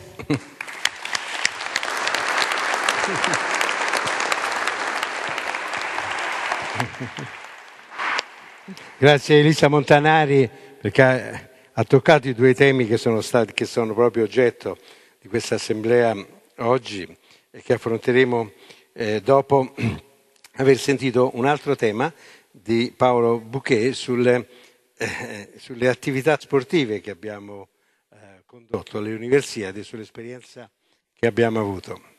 Paolo. Eh, buonasera a tutti. Volevo usare questi pochi minuti per condividere appunto con voi alcune riflessioni che sono ispirate dai temi di questa conferenza, quindi il tema dei rapporti col territorio, il tema della scuola, il tema del volontariato e declinarli in una luce che forse non è quella che la prima che viene in mente, non è la più tradizionale quando si parla di università ed è proprio il tema dello sport. E vorrei farlo eh, usando, come è stato appunto accennato, un'esperienza molto importante a cui l'Università ha preso parte nell'anno scorso, 2013, ovvero sia l'organizzazione delle Universiadi Invernali Trentino 2013 in collaborazione con la Provincia di Trento, il Comune di Trento e il Centro Sportivo Universitario. Dicevo appunto scuola, eh, eh, volontariato e rapporti col territorio. E la tesi che vorrei sostenere in questo brevissimo intervento è appunto che attraverso lo sport si possono creare delle sinergie di altissima qualità tra l'Università di Trento e il territorio, inteso sia come società ma anche come amministrazione del territorio, che l'Ateneo in questo modo può contribuire a creare valore per il territorio in cui vive in aree fondamentali dell'economia provinciale e infine che in questo le scuole e il volontariato hanno un ruolo chiave. Qui vi darò solo due numeri veramente molto semplici dell'Universiade. I primi numeri riguardano appunto il tema della scuola. Durante l'Universiade ben 2.000 studenti delle scuole primarie e secondarie del Trentino hanno partecipato a progetti legati all'Universiade. Una bellissima esperienza, le scuole alberghiere del Trentino hanno curato le cene di gala che tutta la comunità internazionale sportiva ha apprezzato, sapendo che erano prodotto di una scuola del nostro territorio del Trentino. Le medaglie che gli atleti portano al collo, gli atleti che hanno vinto le Universiadi, sono state progettate dall'Istituto d'Arte eh, di Vigo di Fassa e quindi hanno fatto il giro del mondo. Una scuola musicale del Trentino, il Diapason, ci ha aiutato a selezionare la canzone ufficiale dell'Universiadi, che anche ha fatto il giro del mondo e con il progetto Student Staff, in collaborazione con la provincia, ben 200 volontari delle scuole hanno lavorato eh, come volontari, guidati dai loro insegnanti in tutti i settori dell'organizzazione. E qui entriamo nel secondo tema importante, il volontariato. Io non so se c'è mai stata prima, se ci sarà ancora un'esperienza simile di volontariato che ha coinvolto l'università direttamente, perché ben 2800 studenti di questa università si sono candidati a fare i volontari all'Universiade. Di questi solo 800 poi sono stati selezionati per motivi organizzativi e hanno fatto parte di quei 2000 e passa volontari che hanno reso indimenticabile questo evento che tutto il mondo ha detto essere stato eccezionale per le modalità e i tempi, ma anche appunto per la professionalità dei nostri eh, volontari, che sono stati un po' l'anima del, del della, del, dell'evento. E fra l'altro, parlando di università, ci sono anche delle tesi in corso su questo tema e quindi in qualche modo un tema che verrà studiato anche in futuro. Mi avvio verso la fine per ricordare che l'Ateneo è stato presente in ogni aspetto di questo evento, a cominciare dalla torcia, quella torcia che è stata accesa dal Papa a Roma all'inizio del Giro della Torcia, che poi ha fatto il giro di tutta l'Università italiana, è stata progettata da un nostro collega della Facoltà di Ingegneria dell'Università di Trento, così come il bracciere che per settimane è stato in cima alla Torre Civica e che è stato un po' il simbolo di questa Universiade. O la cerimonia di apertura, progettata in collaborazione con lo UAV di Venezia, quindi un'altra collaborazione universitaria, e anche i progetti scientifici che sono stati svolti in occasione dell'Universiade e uno l'avete visto nel video poco fa, quando si è parlato di acqua di cocco, la professoressa Spilimbergo, è uno dei progetti che sono stati sviluppati proprio in occasione eh, dell'Universiade. Ed è stata fatta anche una conferenza su sport come veicolo di innovazione, quindi trasferimento della conoscenza, altro tema citato prima dalla rettrice, a Rovereto, che ha coinvolto molte aziende locali, molti ricercatori internazionali che hanno in qualche modo ci hanno aiutato a riflettere sul fatto che lo sport non è solo attività fisica, ma è anche un'enorme opportunità per affrontare problemi di ricerca e per trasferire conoscenza al mercato. Finisco con una citazione da un personaggio che forse non vi aspettate rispetto allo sport, che è Nelson Mandela, il quale un giorno, in un discorso molto importante, ha detto lo sport ha il potere di cambiare il mondo e ha il potere di ispirare. Ecco, questo eh, vorrei che ce lo ricordassimo quando ogni tanto all'interno degli ambienti anche universitari diciamo vabbè dai, in fondo è solo sport. Ecco, non è solo sport, in fondo è sport e lo sport è quello che ci può aiutare tutti a fare formazione migliore, ricerca migliore e a ispirare gli studenti in società verso risultati di eccellenza. Grazie mille.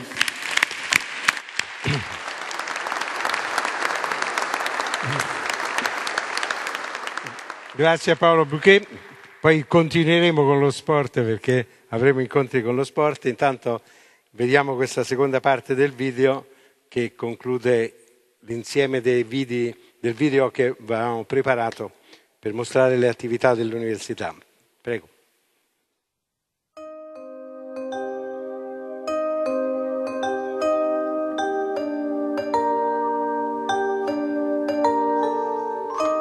Oggi la ricerca non si limita ad osservare la natura solo per capirla.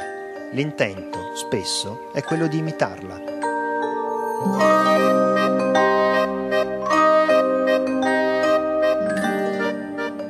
Da sempre l'uomo osserva la natura incuriosito. Già Aristotele, per esempio, osservava i gechi. Ultimamente stiamo cercando di fare un passo ulteriore, cioè quello di carpire i segreti, per esempio dei gechi o delle ragnatele anche, per progettare dei materiali innovativi ispirati appunto alla natura con capacità eh, che attualmente non si vedono nei materiali eh, artificiali.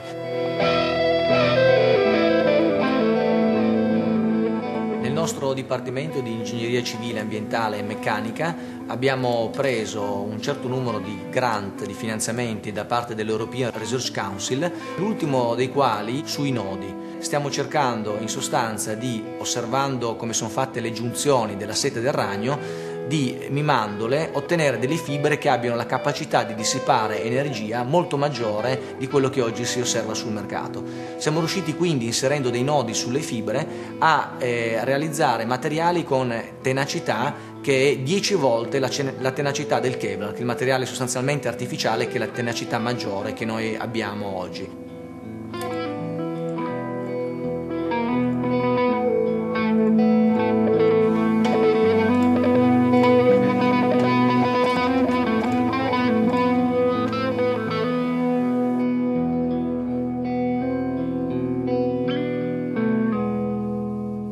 Applicazioni possono essere molteplici, pensate per esempio a delle reti di contenimento per eh, protezione e per la sicurezza degli sciatori, ecco se queste reti prevedessero la presenza dei, dei, dei nodi scorrevoli un pochettino sulla base del nostro concetto, eh, si potrebbe avere, avere, delle reti molto più eh, sottili con eh, capacità protettive maggiori di quelle attuali.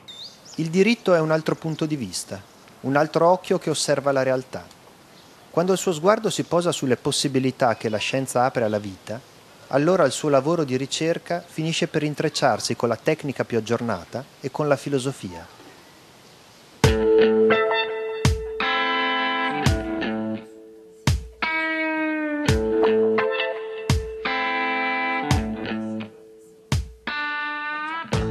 Scienza, le nuove tecnologie stanno cambiando il nostro mondo. Ci sono molte potenzialità, ma ci sono anche nuovi, inediti interrogativi. È proprio a questi interrogativi che noi del progetto Biodiritto ci rivolgiamo per cercare di orientare le biotecnologie verso valori, verso principi rispettosi dell'ambiente in cui viviamo e che promuovano al massimo livello possibile i diritti fondamentali delle persone come il diritto alla salute il diritto all'autodeterminazione e su questo ci sono alcuni principi già nel nostro ordinamento, per il resto c'è molto ancora da inventare.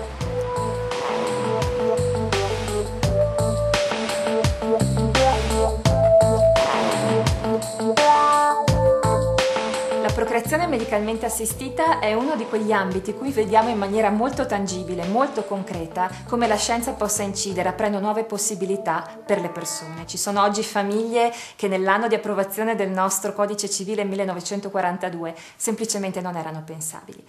Il progetto Biodiritto nasce dalla consapevolezza che di fronte a queste nuove problematiche è necessario mettere in connessione, in comunicazione tra di loro diversi saperi, diverse conoscenze. Quindi ci siamo trovati spesso ad affrontare questioni come ad esempio la clonazione, rispetto alle quali per i giuristi nasceva innanzitutto un'esigenza di comprensione e per questo ci rivolgevamo ai biologi. Poi è importante anche la parte bioetica e sicuramente l'apporto degli scienziati e dei medici.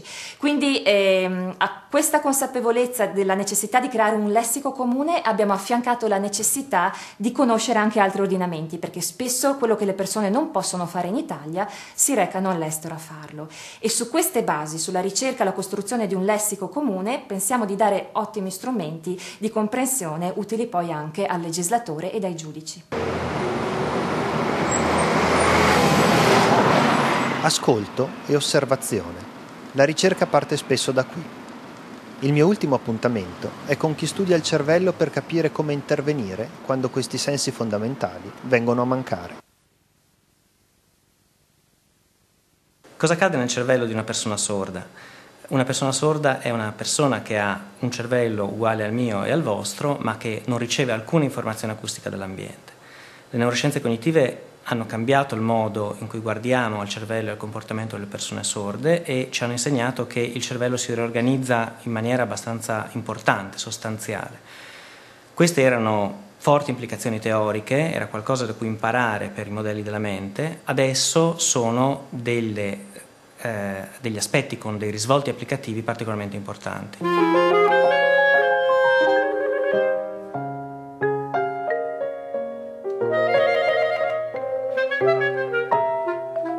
Dall'inizio degli anni 90 sono disponibili in tutto il mondo eh, delle protesi, delle neuroprotesi che possono restituire almeno in parte l'udito alle persone sorde. Il problema è che una neuroprotesi non è una radio che io accendo e immediatamente mi dà un messaggio. Una neuroprotesi è qualcosa che la persona deve imparare a usare, soprattutto immaginatevi il contesto di una persona che non ha ascoltato per i primi dieci anni di vita o i primi quattro anni di vita e poi dover imparare a usare questa neuroprotesi.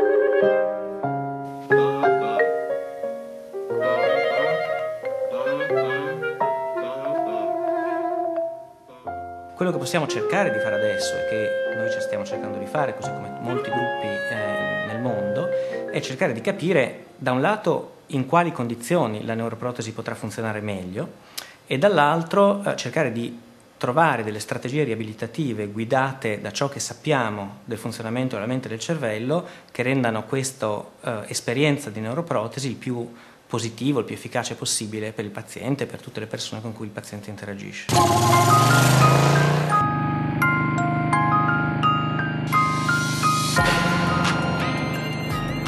Una città, un ateneo e la ricerca che si traduce in vita quotidiana. Si impara dai ragni, i matematici garantiscono una navigazione più sicura e dallo spazio capiamo cosa è successo qua giù. In Trentino il filo rosso dell'innovazione viene tessuto in tanti laboratori. Accelero e li vado a cercare.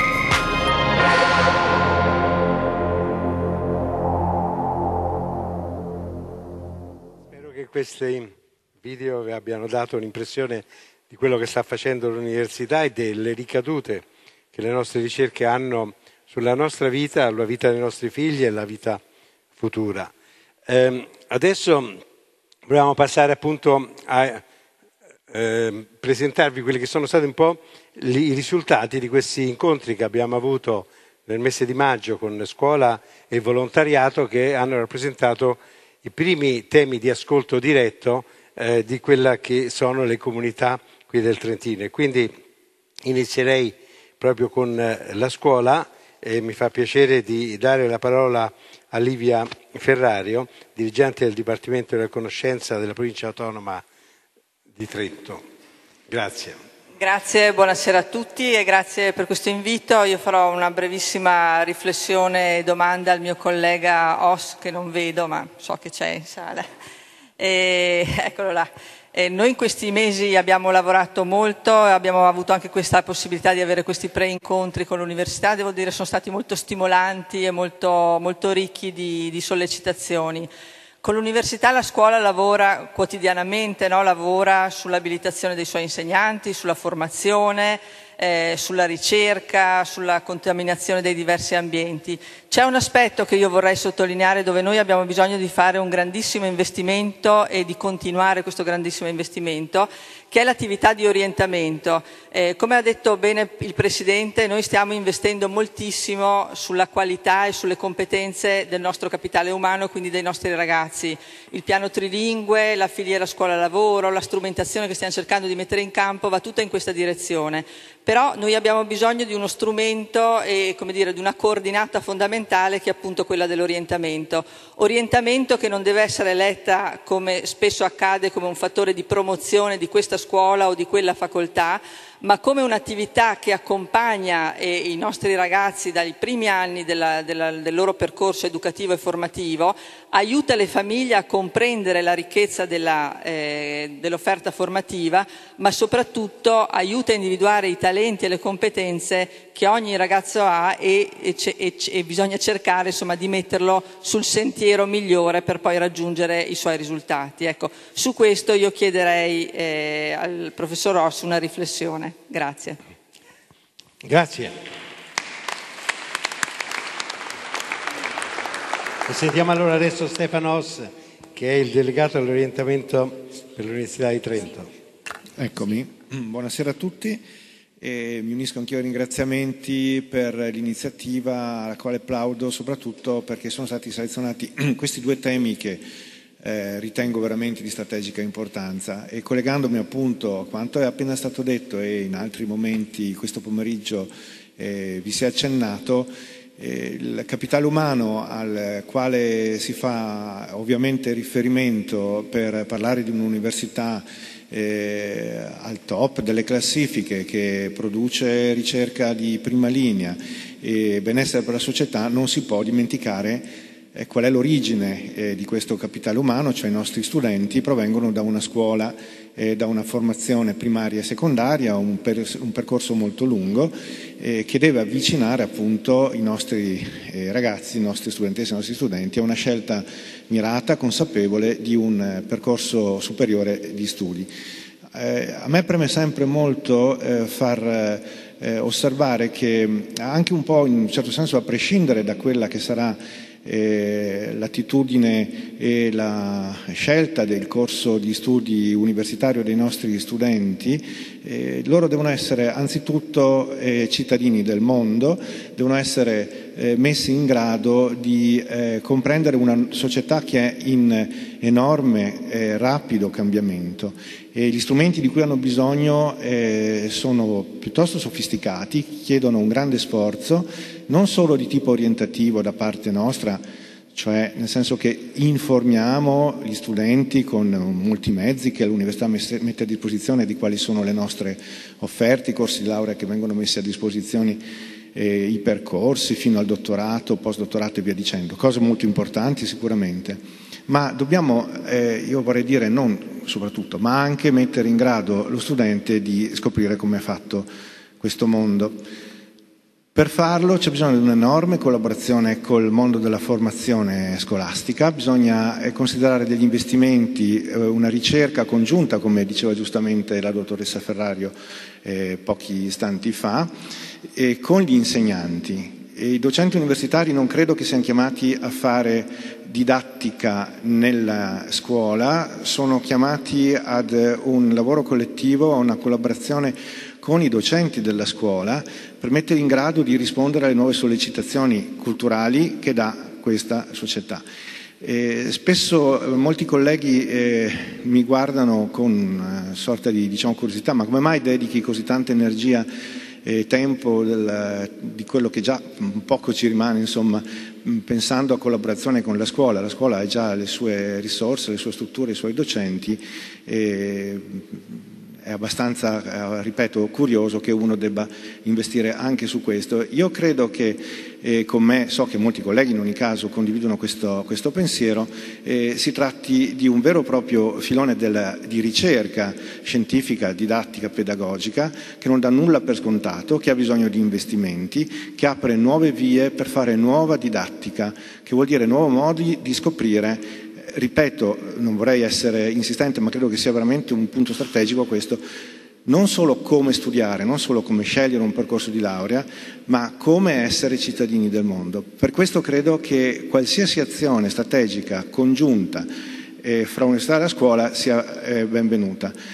Non dobbiamo eh, costruire tutto da capo, ci sono moltissime esperienze, ci sono molte iniziative in atto da svariati anni, la provincia di Trento ha sempre eh, tenuto le, le, porte aperte eh, all'università da questo punto di vista e noi ci siamo sempre eh, ben volentieri dedicati a questo. Non dobbiamo, ripeto, costruire tutto a capo, dobbiamo però avere molta energia per aggiungere nuovo materiale perché, ripeto, le cose stanno cambiando molto rapidamente e dobbiamo tenere il passo con questi tempi molto impegnativi. Grazie.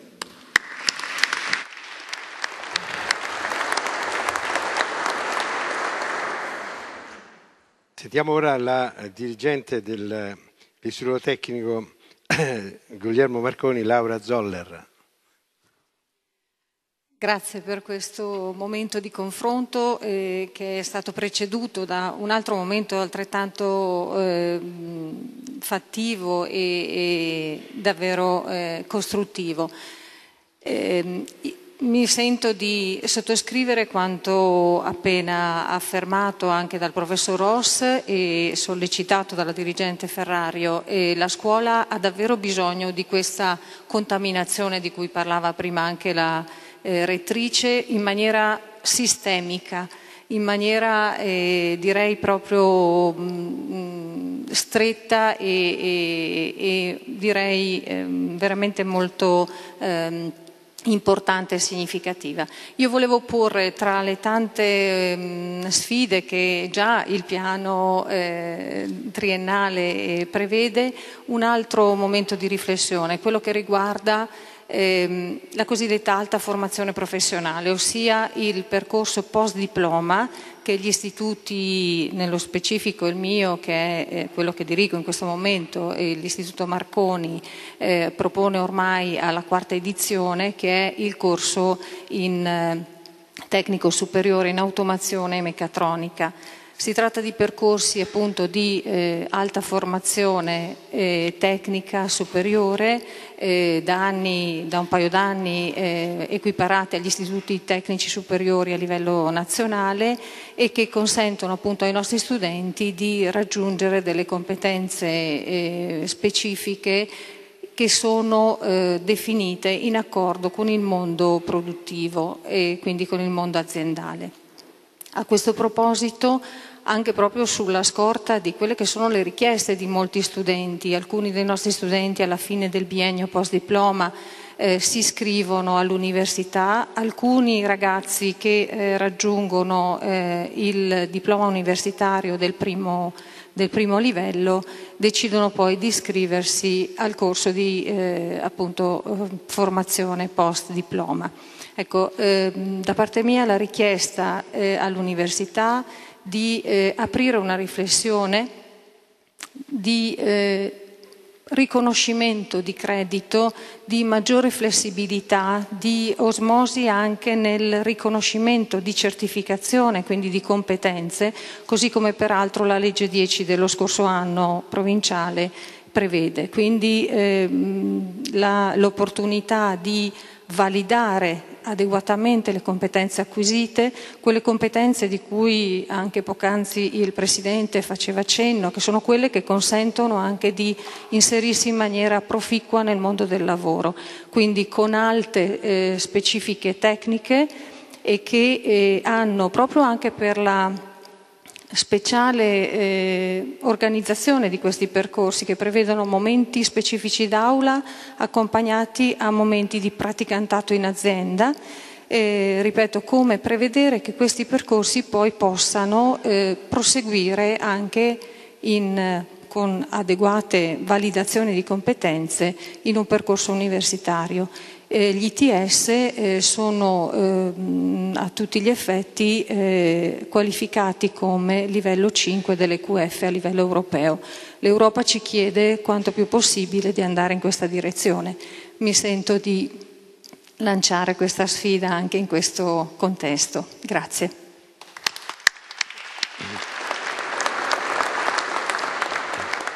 Grazie, è una sollecitazione che prenderemo sicuramente e che porteremo avanti nei prossimi giorni. Chiedo adesso a Paolo Collini, che è il prorettore vicario delegato alla didattica. Sì, beh, grazie.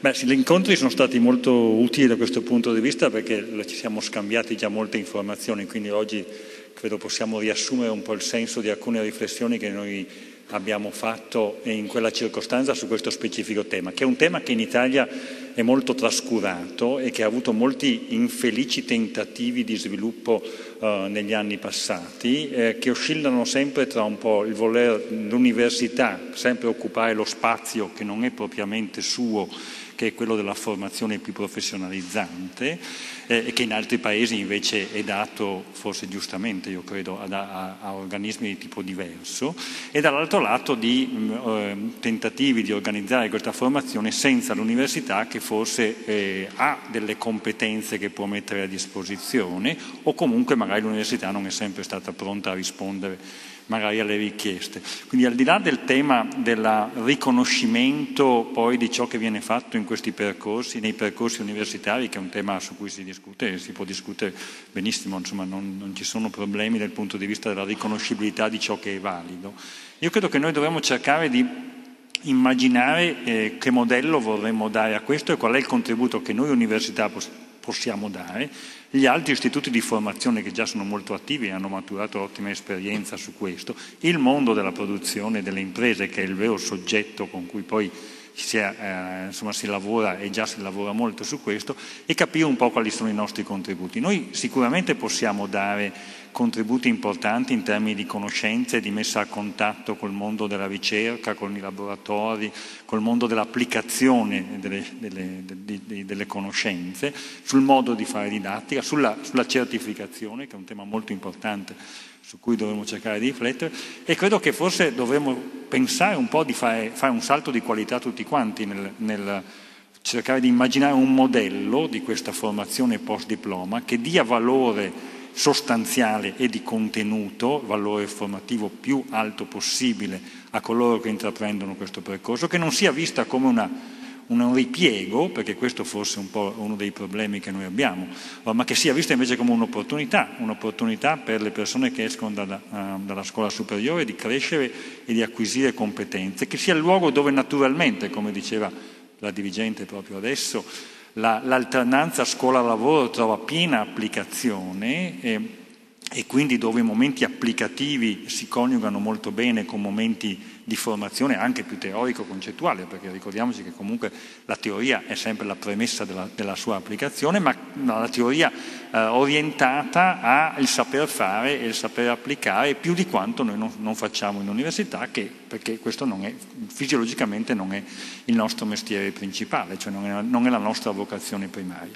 E quindi io credo che noi dovremmo cercare non solo di rispondere alle, all'esigenza di, di capire come dare legittimità a questi percorsi, quindi come renderli appetibili anche dal punto di vista della riconoscibilità che questi percorsi hanno, eventualmente quando ciò è nelle aspirazioni dei ragazzi vedere come questi percorsi possono connettersi con i percorsi universitari, ma anche come cercare di fare in modo che ciò che l'università sa fare possa coniugarsi di più, essere più a disposizione eh, di questi modelli formativi in cui l'università può dare un contributo, non è ovviamente il soggetto principale o esclusivo, ma che sicuramente può contribuire a dare appunto da un punto di vista metodologico, di metodi didattici, di valutazione, di certificazione, un contributo importante e credo che assieme potremmo cercare di immaginare anche forse una sperimentazione che anche magari rispetto a quello che avviene nel resto d'Italia possa essere anche un esempio che possa funzionare meglio di altre, di altre cose che forse non sempre hanno funzionato bene. Grazie.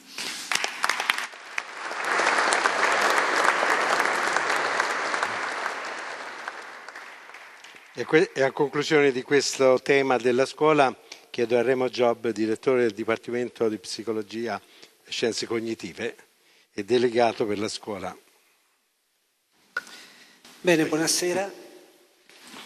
Mi unisco anch'io al ringraziamento agli organizzatori e eh, vorrei brevissimamente descrivere i rapporti in atto fra eh, scuola e eh, università e utilizzando una eh, felice definizione del collega Anzellotti direi che questo rapporto è speciale e naturale.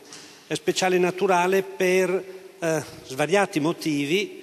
Eh, ricordo che una parte significativa dei docenti della scuola eh, trentina sono, provengono dall'Università di Trento. Molti docenti mantengono dei rapporti con eh, l'università e questo eh, da un lato porta prospettive nuove, crea eh, valore aggiunto per quanto riguarda le possibili azioni che noi andiamo poi a compiere nella scuola.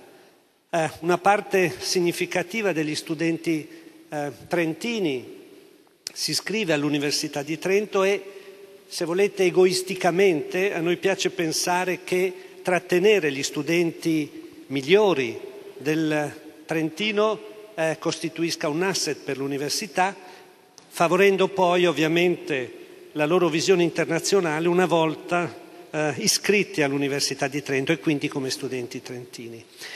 La eh, eh scuola trentina è eh, principale, la principale sede di tirocinio per gli insegnanti in formazione e eh, quindi i tutor, eh, coloro che eh, seguono eh, dal punto di vista, diciamo così, più professionale gli insegnanti in formazione o accolgono gli insegnanti nelle loro classi, costituiscono quindi un elemento particolarmente importante del processo formativo. Eh, c'è quindi un circolo virtuoso fra qualità della formazione eh, dei docenti e qualità della preparazione degli studenti e eh, mi piace pensare che questo possa articolarsi in tre ambiti, l'ambito della formazione, l'ambito della ricerca e l'ambito di quello che io chiamo le azioni congiunte. Su questo alcuni dati e eh, alcune indicazioni di eh, percorso. Per quanto riguarda la formazione degli insegnanti, eh, abbiamo i corsi abilitanti in collaborazione con il Dipartimento della Conoscenza del PAT e per quanto riguarda un part- una particolare tipologia di percorsi abilitanti anche con la provincia di Bolzano, ehm, sono state attivate 16 classi di abilitazione per quanto riguarda il tirocinio formativo attivo, che è per l'appunto la nuova forma di abilitazione degli insegnanti. Vi sono state 2000 domande per l'anno accademico scorso, con una iscrizione di eh, 150 circa eh, persone. Per quanto riguarda percorsi formativi speciali riservati a insegnanti già eh, eh eh, nell'ambito eh, dell'insegnamento già insegnanti a scuola per almeno tre anni, le classi di abilitazione che l'Ateneo Trentino ha attivato sono state 30, ci sono stati circa 800 iscritti ehm, che eh, dire, si scaglioneranno nel eh, ehm, corso del presente anno accademico in due anni accademici successivi. Per quanto riguarda l'abilitazione al sostegno e quindi ehm, insegnanti dedicati al eh, sostegno di alunni con disabilità, ci sono stati eh, circa 90 iscritti, 15 per la scuola dell'infanzia, 30 per la scuola primaria, 30 per la scuola secondaria di primo grado e 15 di nuovo per la eh, secondaria di secondo grado. Infine, per quanto riguarda i percorsi eh, CLIL, eh, ovvero sia l'insegnamento curricolare in lingua 2, eh, vi è eh, eh un'interessante collaborazione fra il Dipartimento della Conoscenza e le intendenze scolastiche di lingua italiana e lingua ladina della provincia di Bolzano e in questo anno accademico gli iscritti sono eh, circa 30. Abbiamo poi corsi e attività legate alla formazione in servizio, la formazione permanente degli insegnanti, in generale in eh, collegamento con l'IPRASE e con la rete museale del Trentino, molte attività eh, diffuse tra i dipartimenti dell'università e eh, un esempio che conosco personalmente, quindi ehm, eh, elaborato dal nostro dipartimento, lo studio della mente e l'arte dell'insegnare, coordinato dalla docente eh, Claudia Cattani, che eh, per l'appunto è da noi eh, ehm, presso l'università, gli ha visto 330 iscritti. E quindi eh, c'è questa motivazione a partecipare alla formazione in servizio che è davvero particolarmente importante. Vi sono poi delle attività per quanto riguarda i dirigenti eh, per fornire loro delle competenze per quanto, aspetti, per quanto riguarda gli aspetti organizzativi, manageriali e relazionali. Ricerca, iniziative di ricerca con e nelle scuole sono davvero trasversali rispetto a tutti i dipartimenti, coinvolgono i dipartimenti e i centri e eh, con metodologie e temi ovviamente che riguardano le specifiche aree, specifici ambiti, con particolare però attenzione alla ricerca-azione. La ricerca è un aspetto di grande rilevanza per l'avanzamento delle conoscenze, ovviamente, ma qui vorrei sottolineare le eh, potenzialità delle applicazioni nell'ambito scolastico che sono perseguibili e di fatto perseguite eh, dal, eh, dai ricercatori. Infine, quell'ambito che eh, definisco azioni condivise per il perseguimento di fini in qualche modo comuni, penso a lavori eh, di gruppo su grandi temi come ad esempio la certificazione delle competenze, il rapporto tra mondo dell'istruzione e mondo del lavoro, promozione della cultura scientifica, valorizzazione e promozione delle istituzioni educative. Per finire, eh, ritengo che eh, la School of Education dell'Euregio possa avere un ruolo rilevante come eh, per la messa in atto di queste eh, possibili sinergie in un territorio che è geograficamente contiguo ma linguisticamente e culturalmente eh, differenziato e quindi, usando un termine del collega Bouquet, potrebbe essere eh, diciamo così, una palestra eh, per eh, eh, la formazione degli insegnanti. Grazie.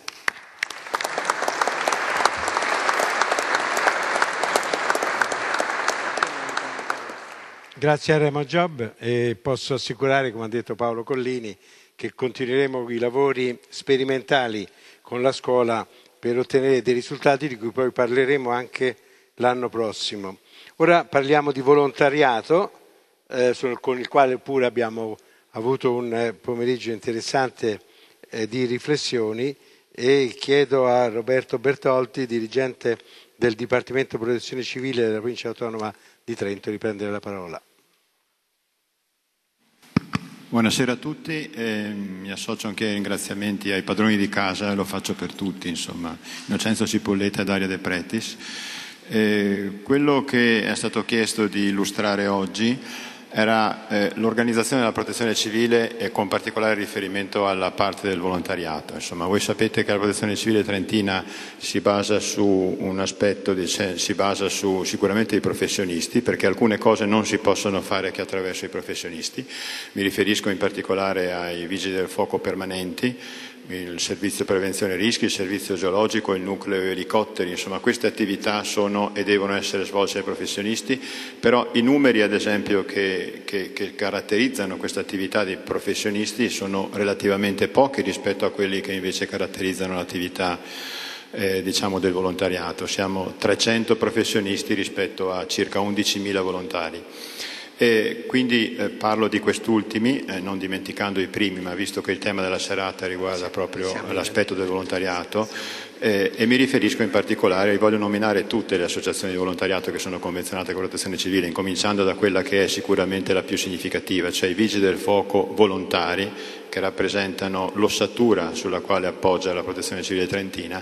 Voi sapete che per legge ogni comune deve avere un corpo di vigili del fuoco volontari eh, i quali evidentemente, proprio perché eh, sono diffusi capillarmente sul territorio, conoscono il territorio, conoscono gli uomini, eccetera, eccetera, riescono anche ad intervenire in maniera evidentemente più efficace. Poi c'è anche un altro aspetto, un altro settore, chiamiamolo così, che è rappresentato dal, dal soccorso alpino. Il soccorso alpino certamente rappresenta un'altra parte importante perché il territorio che, che ci caratterizza evidentemente non è sempre tutto, dire, eh, accessibile, per cui eh, il soccorso alpino eh, opera laddove il terreno diventa impervio e c'è bisogno di una particolare preparazione e professionalità per intervenire. Poi c'è anche un'altra associazione che è altrettanto, sono tutte importanti ovviamente, che, che sono rappresentate dai Nuvola, i nuclei volontari alpini i quali eh, voi sapete insomma, che quando c'è una, una, un'emergenza, una catastrofe, una calamità, insomma, eh, bisogna lavorare tutto il giorno e tutta la notte, ma se poi trovi anche, riesci a trovare anche un pasto la sera caldo, chiaramente la cosa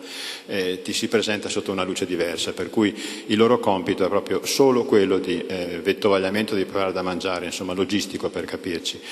Poi un'altra associazione, la Croce Rossa Italiana, la quale evidentemente potete già immaginare qual è il compito che svolge all'interno eh, della protezione civile, i cani da ricerca da catastrofe, che sono eh, una componente eh, che noi attiviamo in particolar modo sul nostro terreno, ad esempio per la ricerca di persone scomparse, sicuramente fanno un ottimo lavoro, riescono tante volte insomma, a raggiungere il loro, il loro obiettivo, e poi gli psicologi per i popoli, è un'associazione che eh, in caso appunto di calamità è importante attivare per dare un supporto sia alle eh, popolazioni colpite ma anche certe volte e soprattutto ai soccorritori stessi perché vi assicuro che in certe situazioni ne hanno assolutamente bisogno.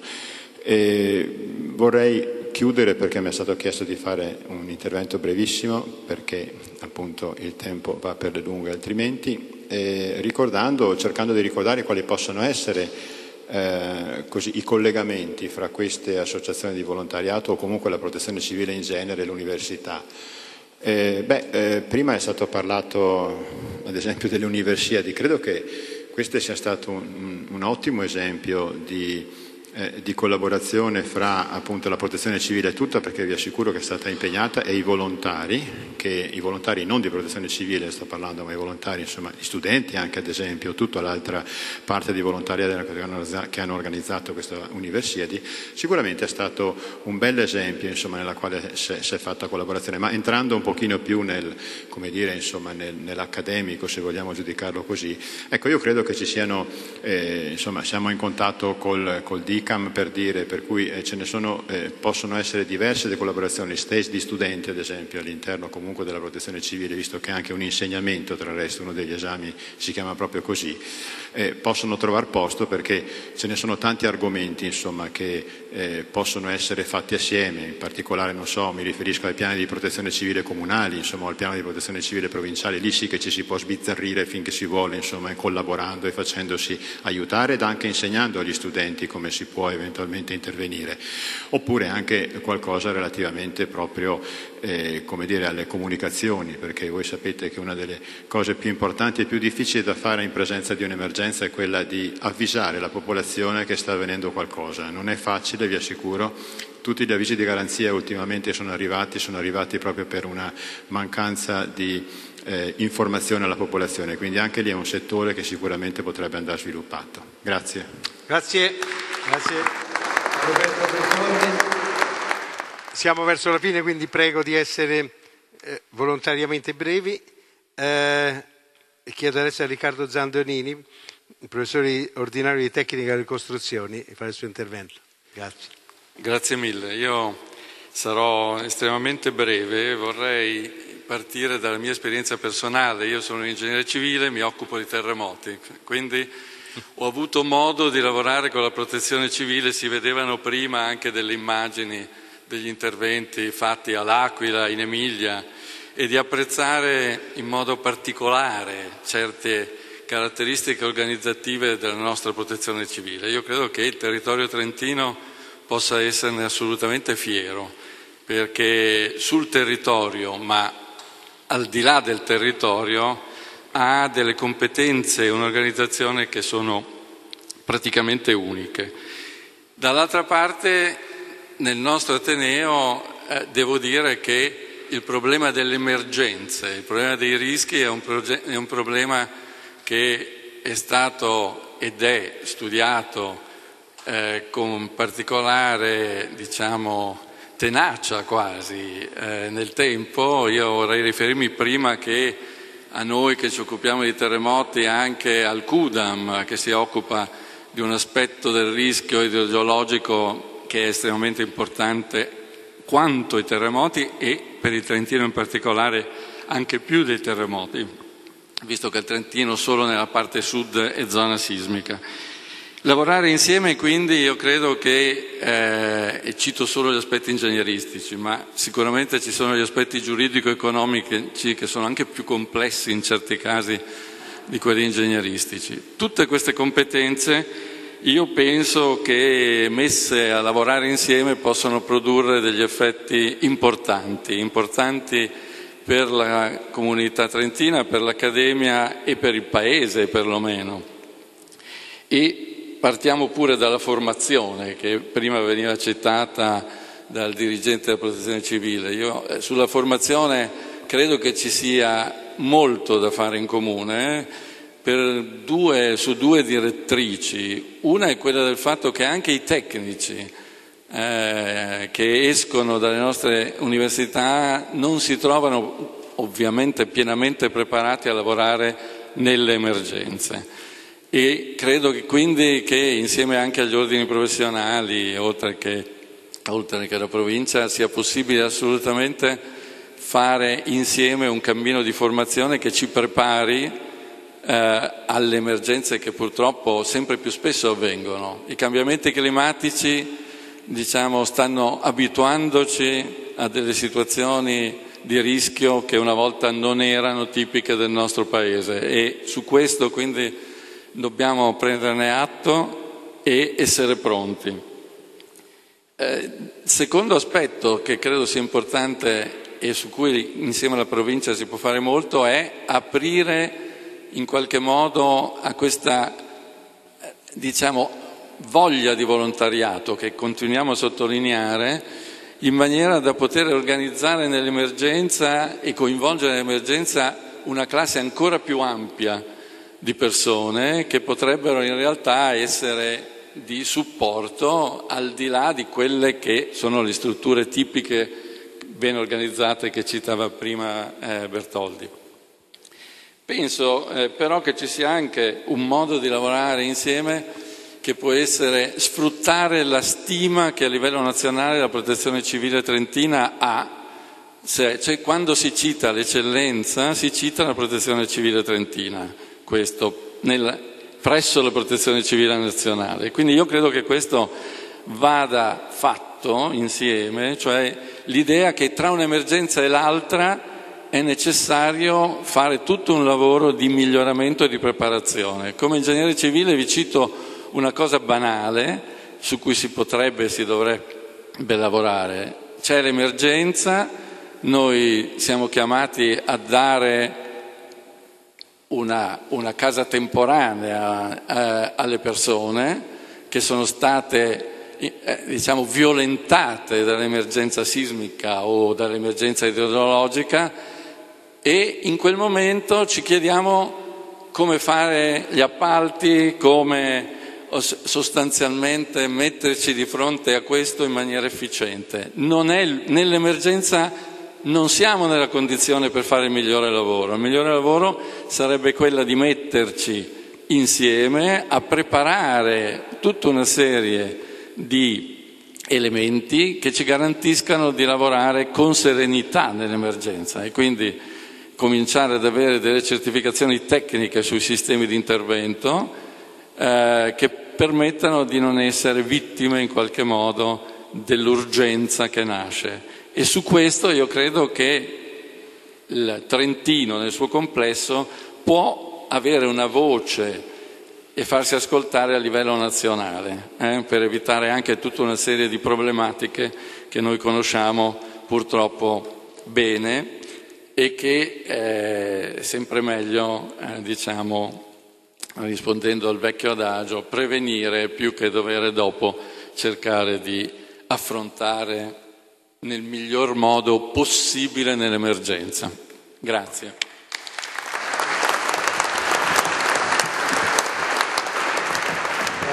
Tema del volontariato, Francesca Fiori e Egidio Formilan, coordinatrice del servizio volontariato della provincia di Trento e responsabile dell'ufficio studi della cooperazione trentina.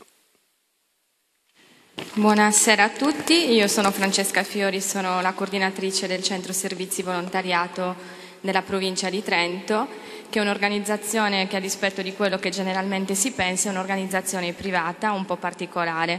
Il Centro Servizi nasce in base alla legge 266, la legge quadro del volontariato del 91 e ha come compito quello di supportare la crescita qualitativa e quantitativa delle organizzazioni che sono presenti sul nostro territorio. La nostra mission poi ha subito delle evoluzioni successive per stare un po' a passo coi tempi e quindi abbiamo aggiunto oltre questo importante compito anche la promozione più in generale di ogni forma ed espressione di cittadinanza attiva. È facilmente intuibile quindi che cosa facciamo. Da una parte tutta una serie di iniziative che vanno a supporto del, del volontariato, quindi delle organizzazioni, e da un'altra parte tutta invece una serie di iniziative che sono rivolte più generalmente alla cittadinanza con un focus preciso sui giovani che hanno come obiettivo quello di trovare anche nuove forze che possano inserirsi all'interno delle associazioni nell'ottica, come diceva prima anche il sindaco della città di Trento, di eh, continuità del settore ma anche di introdurre delle innovazioni importanti perché è possibile innovare anche nel settore sociale, anzi è doveroso farlo. Detto questo, oh, l'altra grande diciamo, azione nostra e quindi le altre iniziative sono rivolte invece al rafforzamento delle capacità e delle competenze del mondo del volontariato. Un mondo che ovviamente affronta come tutti quanti una crisi diciamo, economica, valoriale e anche generazionale e che per stare proprio a passo con i tempi, adesso che si richiede soprattutto il suo intervento in un welfare fatto a più mani, dove il volontariato deve giocare un ruolo distintivo, come gli è consono e proprio, ha bisogno di competenze sempre più specifiche e particolari è quello che fa il centro servizi e quindi cercare di fornire queste competenze sia con azioni dirette, quindi interventi formativi eh, o accompagnamenti di tipo consulenziale, ma cercando anche di sollecitare la capacità di risposta presente sul nostro territorio, sulla nostra comunità.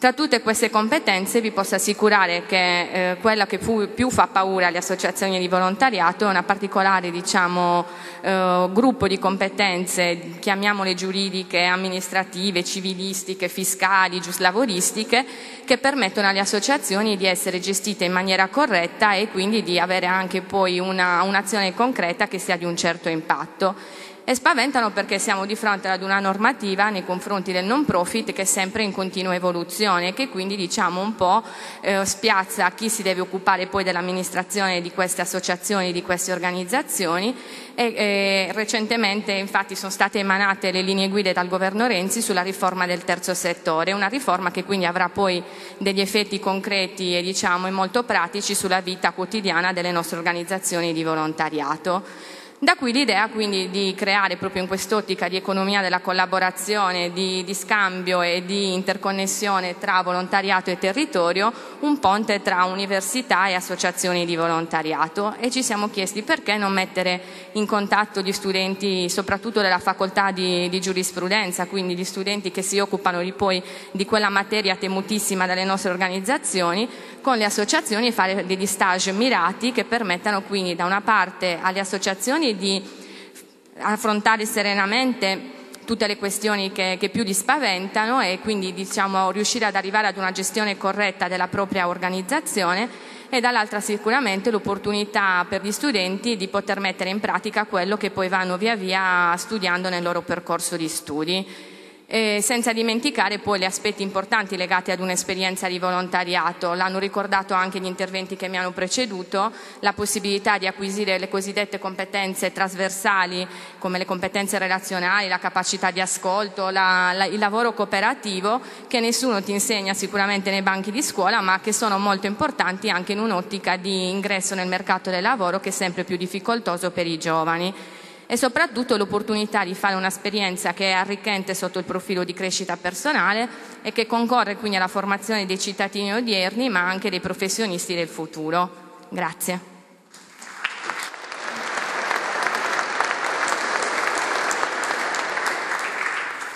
Bene, buonasera a tutti e grazie per l'invito.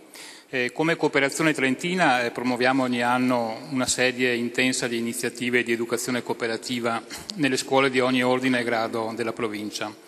E lo facciamo non solo per far conoscere meglio cos'è, come funziona e quali, quale importante ruolo economico e sociale ricopre il sistema cooperativo per la nostra comunità, ma anche per rispondere a un compito educativo che è parte integrante dei principi e dei valori di riferimento nel movimento cooperativo locale, nazionale e internazionale. La metodologia che utilizziamo è quella delle ACS, Associazioni Cooperative Scolastiche. Si tratta di una simulazione di impresa cooperativa basata su unità di apprendimento proposte con modalità non formali e sostenute da strumenti di validazione delle competenze acquisite.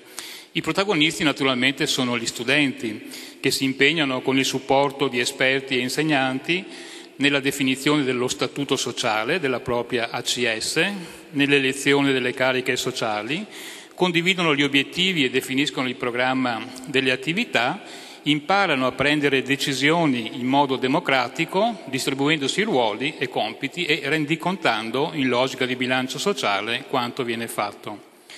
Gli studenti hanno, poi, hanno così la possibilità di acquisire e sperimentare in modo attivo alcune competenze cooperative, che sono però nel contempo competenze di cittadinanza altamente educative, eh, esercitando responsabilità, mutuo aiuto, solidarietà, collaborazione, lavoro associato, inclusione sociale, gestione democratica e interesse per la comunità. Da qui il protocollo d'intesa per l'educazione cooperativa nelle scuole, che è stato firmato nel 2012 a Riva del Garda tra la Federazione Trentina della Cooperazione e la Provincia Autonoma di Trento.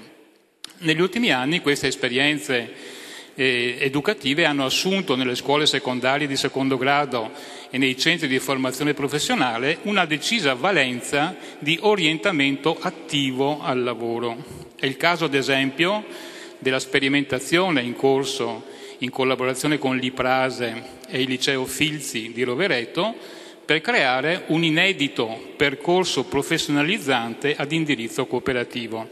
Il percorso comprende anche l'attivazione in logica di alternanza scuola-lavoro di tirocini di qualità in cooperativa, l'interazione strutturata tra tutor aziendali e tutor scolastici, la definizione del set di competenze da sperimentare e validare a livello di impresa e il riconoscimento finale di crediti formativi. Alcuni istituti di istruzione superiore e centri di formazione professionale ci stanno però chiedendo di fare qualcosa di più. L'idea è di mettere a disposizione degli studenti un ambiente di apprendimento non simulato, organizzato in forma di impresa cooperativa, da utilizzare come contesto reale di alternanza e di transizione scuola-lavoro, un'impresa vera, in altre parole, ma con forte valenza formativa. Una prima sperimentazione è stata avviata con l'Istituto Professionale Alberghiero di Levico e Rovereto. L'Istituto, in collaborazione con la Federazione Trentina della cooperazione ha costituito la cooperativa Lievito Madre. La cooperativa è pensata per permettere agli studenti soci di prendere in gestione diretta strutture ricettive della ristorazione, sperimentando le proprie competenze in un contesto di autoimprenditorialità da integrare nel curriculum formativo e che possa fornire un primo sbocco lavorativo post diploma. La categoria cooperativa scelta è stata quella della cooperativa sociale di tipo B.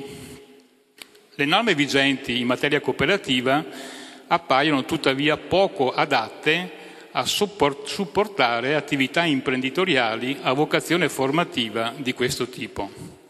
Da un punto di vista civilistico c'è ad esempio la necessità di approfondire il tema dell'adesione a socio di soggetti minorenni, c'è poi l'assetto giuslavoristico che andrebbe approfondito rispetto a logiche di alternanza e di transizione scuola-lavoro, così come esiste la necessità di valorizzare la natura multi-stakeholder dell'impresa nella relativa governance. Per questo ci sentiamo di proporre all'università di aprire un tavolo di collaborazione per utilizzare la competenza legislativa primaria della Regione in materia di sviluppo della cooperazione e vigilanza sulle cooperative. L'obiettivo è di creare una specifica e più adatta categoria cooperativa, denominata cooperativa di transizione scuola-lavoro, a imitazione di quanto fatto nel 1988 dalla Regione Trentino Alto Adige Südtirol con l'approvazione prima in Italia della legge numero 24 sulle cooperative di solidarietà sociale. Grazie. Grazie. Darà una risposta il preside della facoltà di giurisprudenza Giuseppe Nesi.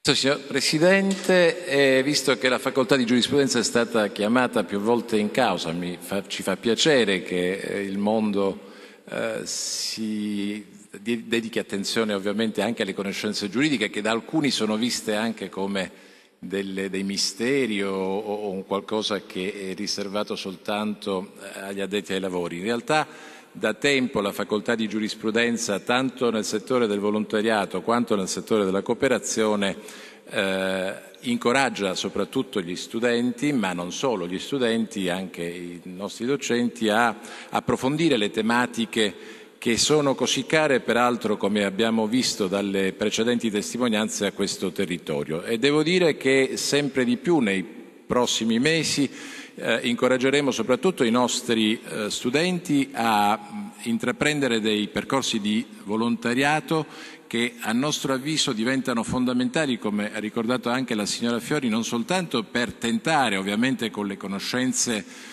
forse ancora non sempre del tutto mature degli studenti, di eh, dare eh, necessari, i necessari chiarimenti alla, alla, alla, al complesso di leggi e di regolamenti che eh, che, che, che deve, dovrebbe disciplinare, disciplina la, eh, la, il settore del, del, volontariato, ma anche eh, alla, alla, ad avere una migliore percezione delle tematiche giuridiche che ehm, concernono il, la, la cooperazione.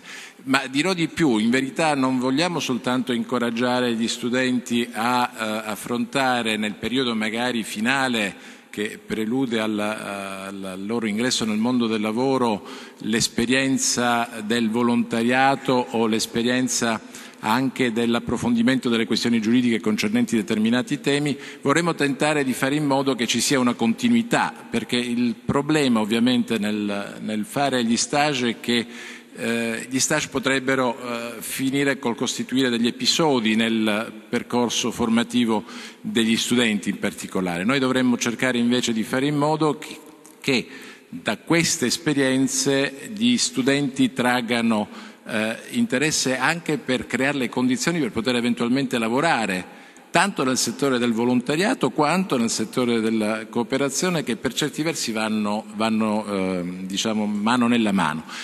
Un'ultima cosa che vorrei dire è che in realtà, eh, questo vale per il volontariato, vale per la cooperazione, ma vale in realtà per le imprese in generale, ma vale per tutte le attività economiche trentine, noi da, da tempo abbiamo diverse convenzioni che eh, invitiamo anche in questa sede a sfruttare più adeguatamente. Eh, dovremmo e potremmo fare di più, ma per far questo dobbiamo essere aiutati dai principali operatori economici e sociali di, questa, eh, di questo territorio a, eh, a farlo. Grazie.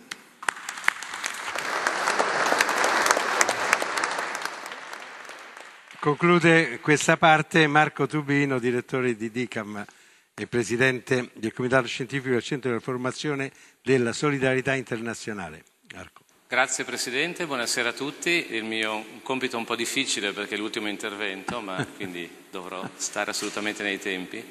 E ho partecipato a questo incontro preliminare con uh, le associazioni di volontariato, è stato un incontro molto ricco, un incontro che ci ha fatto capire come in realtà il mondo del volontariato eh, incontri tutte e tre le missioni che la rettrice ha ricordato all'inizio della presentazione del piano strategico. L'università fa ricerca, formazione e fa trasferimento, direi fa condivisione di conoscenza più che trasferimento, una parola forse più adeguata a identificare quello che può essere il rapporto dell'università col mondo del volontariato.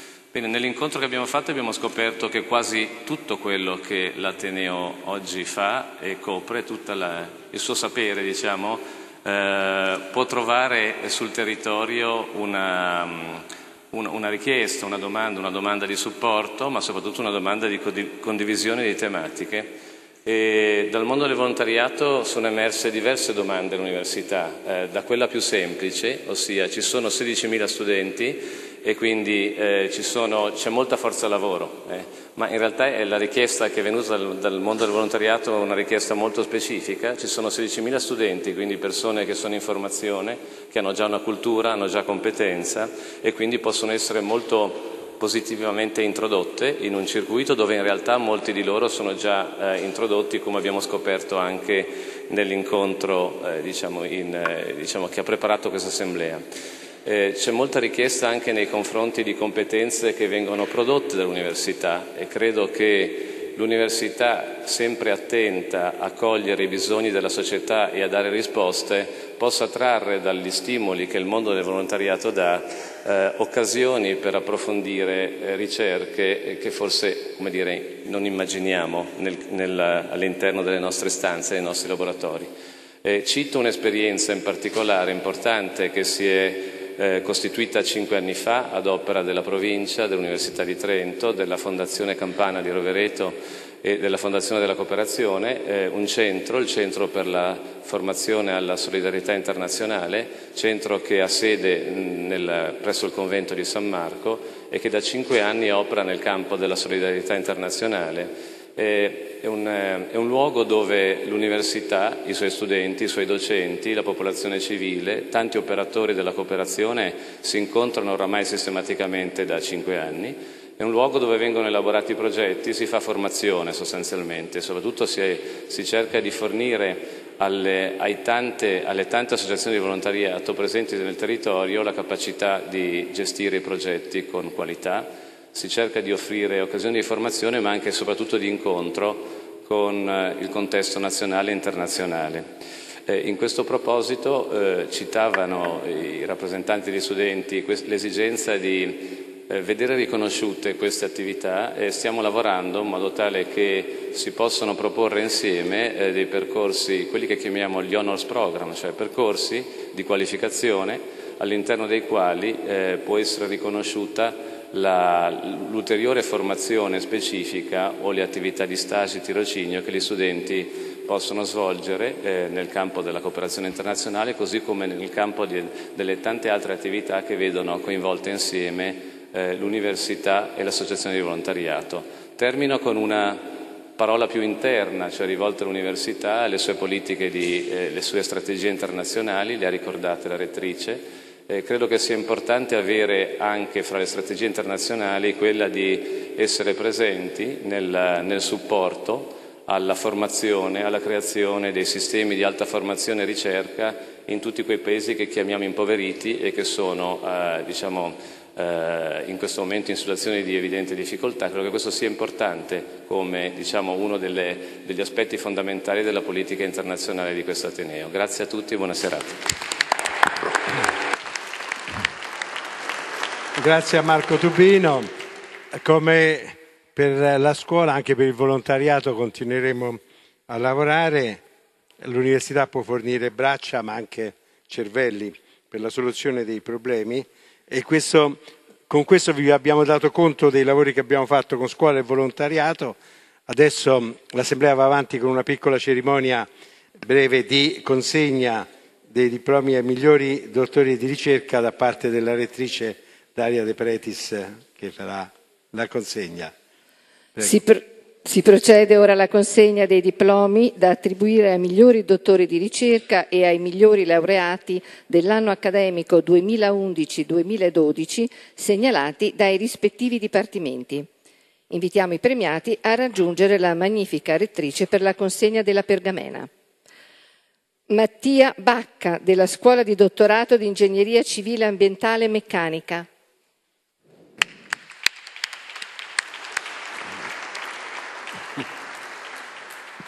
Daniele Castello del, della Scuola di Dottorato di Ingegneria Civile, Ambientale e Meccanica.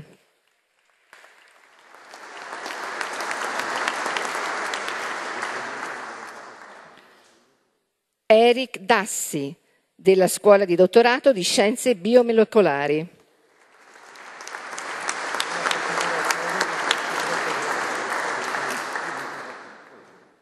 Anna Fedrizzi della Scuola di Dottorato di Materiali, Meccatronica e Ingegneria dei Sistemi.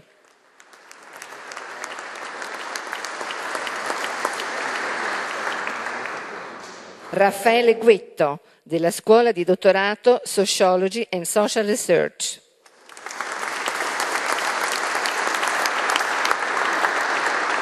Luca Lorenzi della Scuola di Dottorato Informatica e Telecomunicazioni.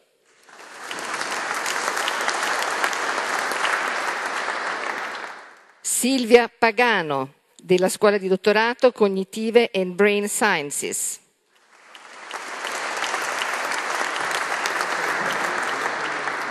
Paola Widman della Scuola di Dottorato di Studi Giuridici Comparati ed Europei.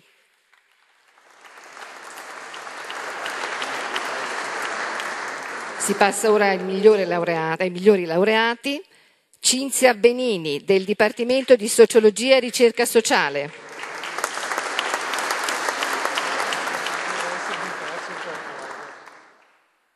Mattia Biesuz del Dipartimento di Ingegneria Industriale.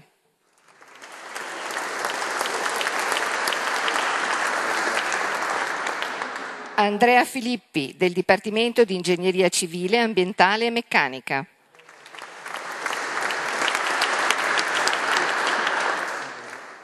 Alessandra Quaranta del Dipartimento di Lettere e Filosofia.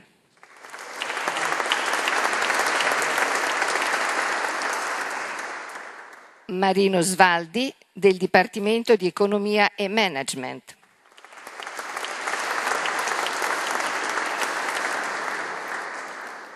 Alberto Zanella del Dipartimento di Ingegneria e Scienza dell'Informazione.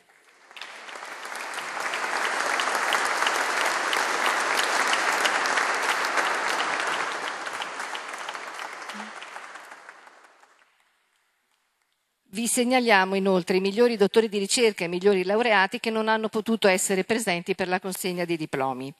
Simone Cerroni, Elsie Furi, Giovanni Franzina, Wicke Maria Hackman, Marco Larcher, Luca Bonetti, Valentina Borghesani, Alessio Gracis, Tommaso Milani, Maris Squejevics, Luca Spolaro, Spolaur, scusate. Adesso ci sarà la foto di gruppo.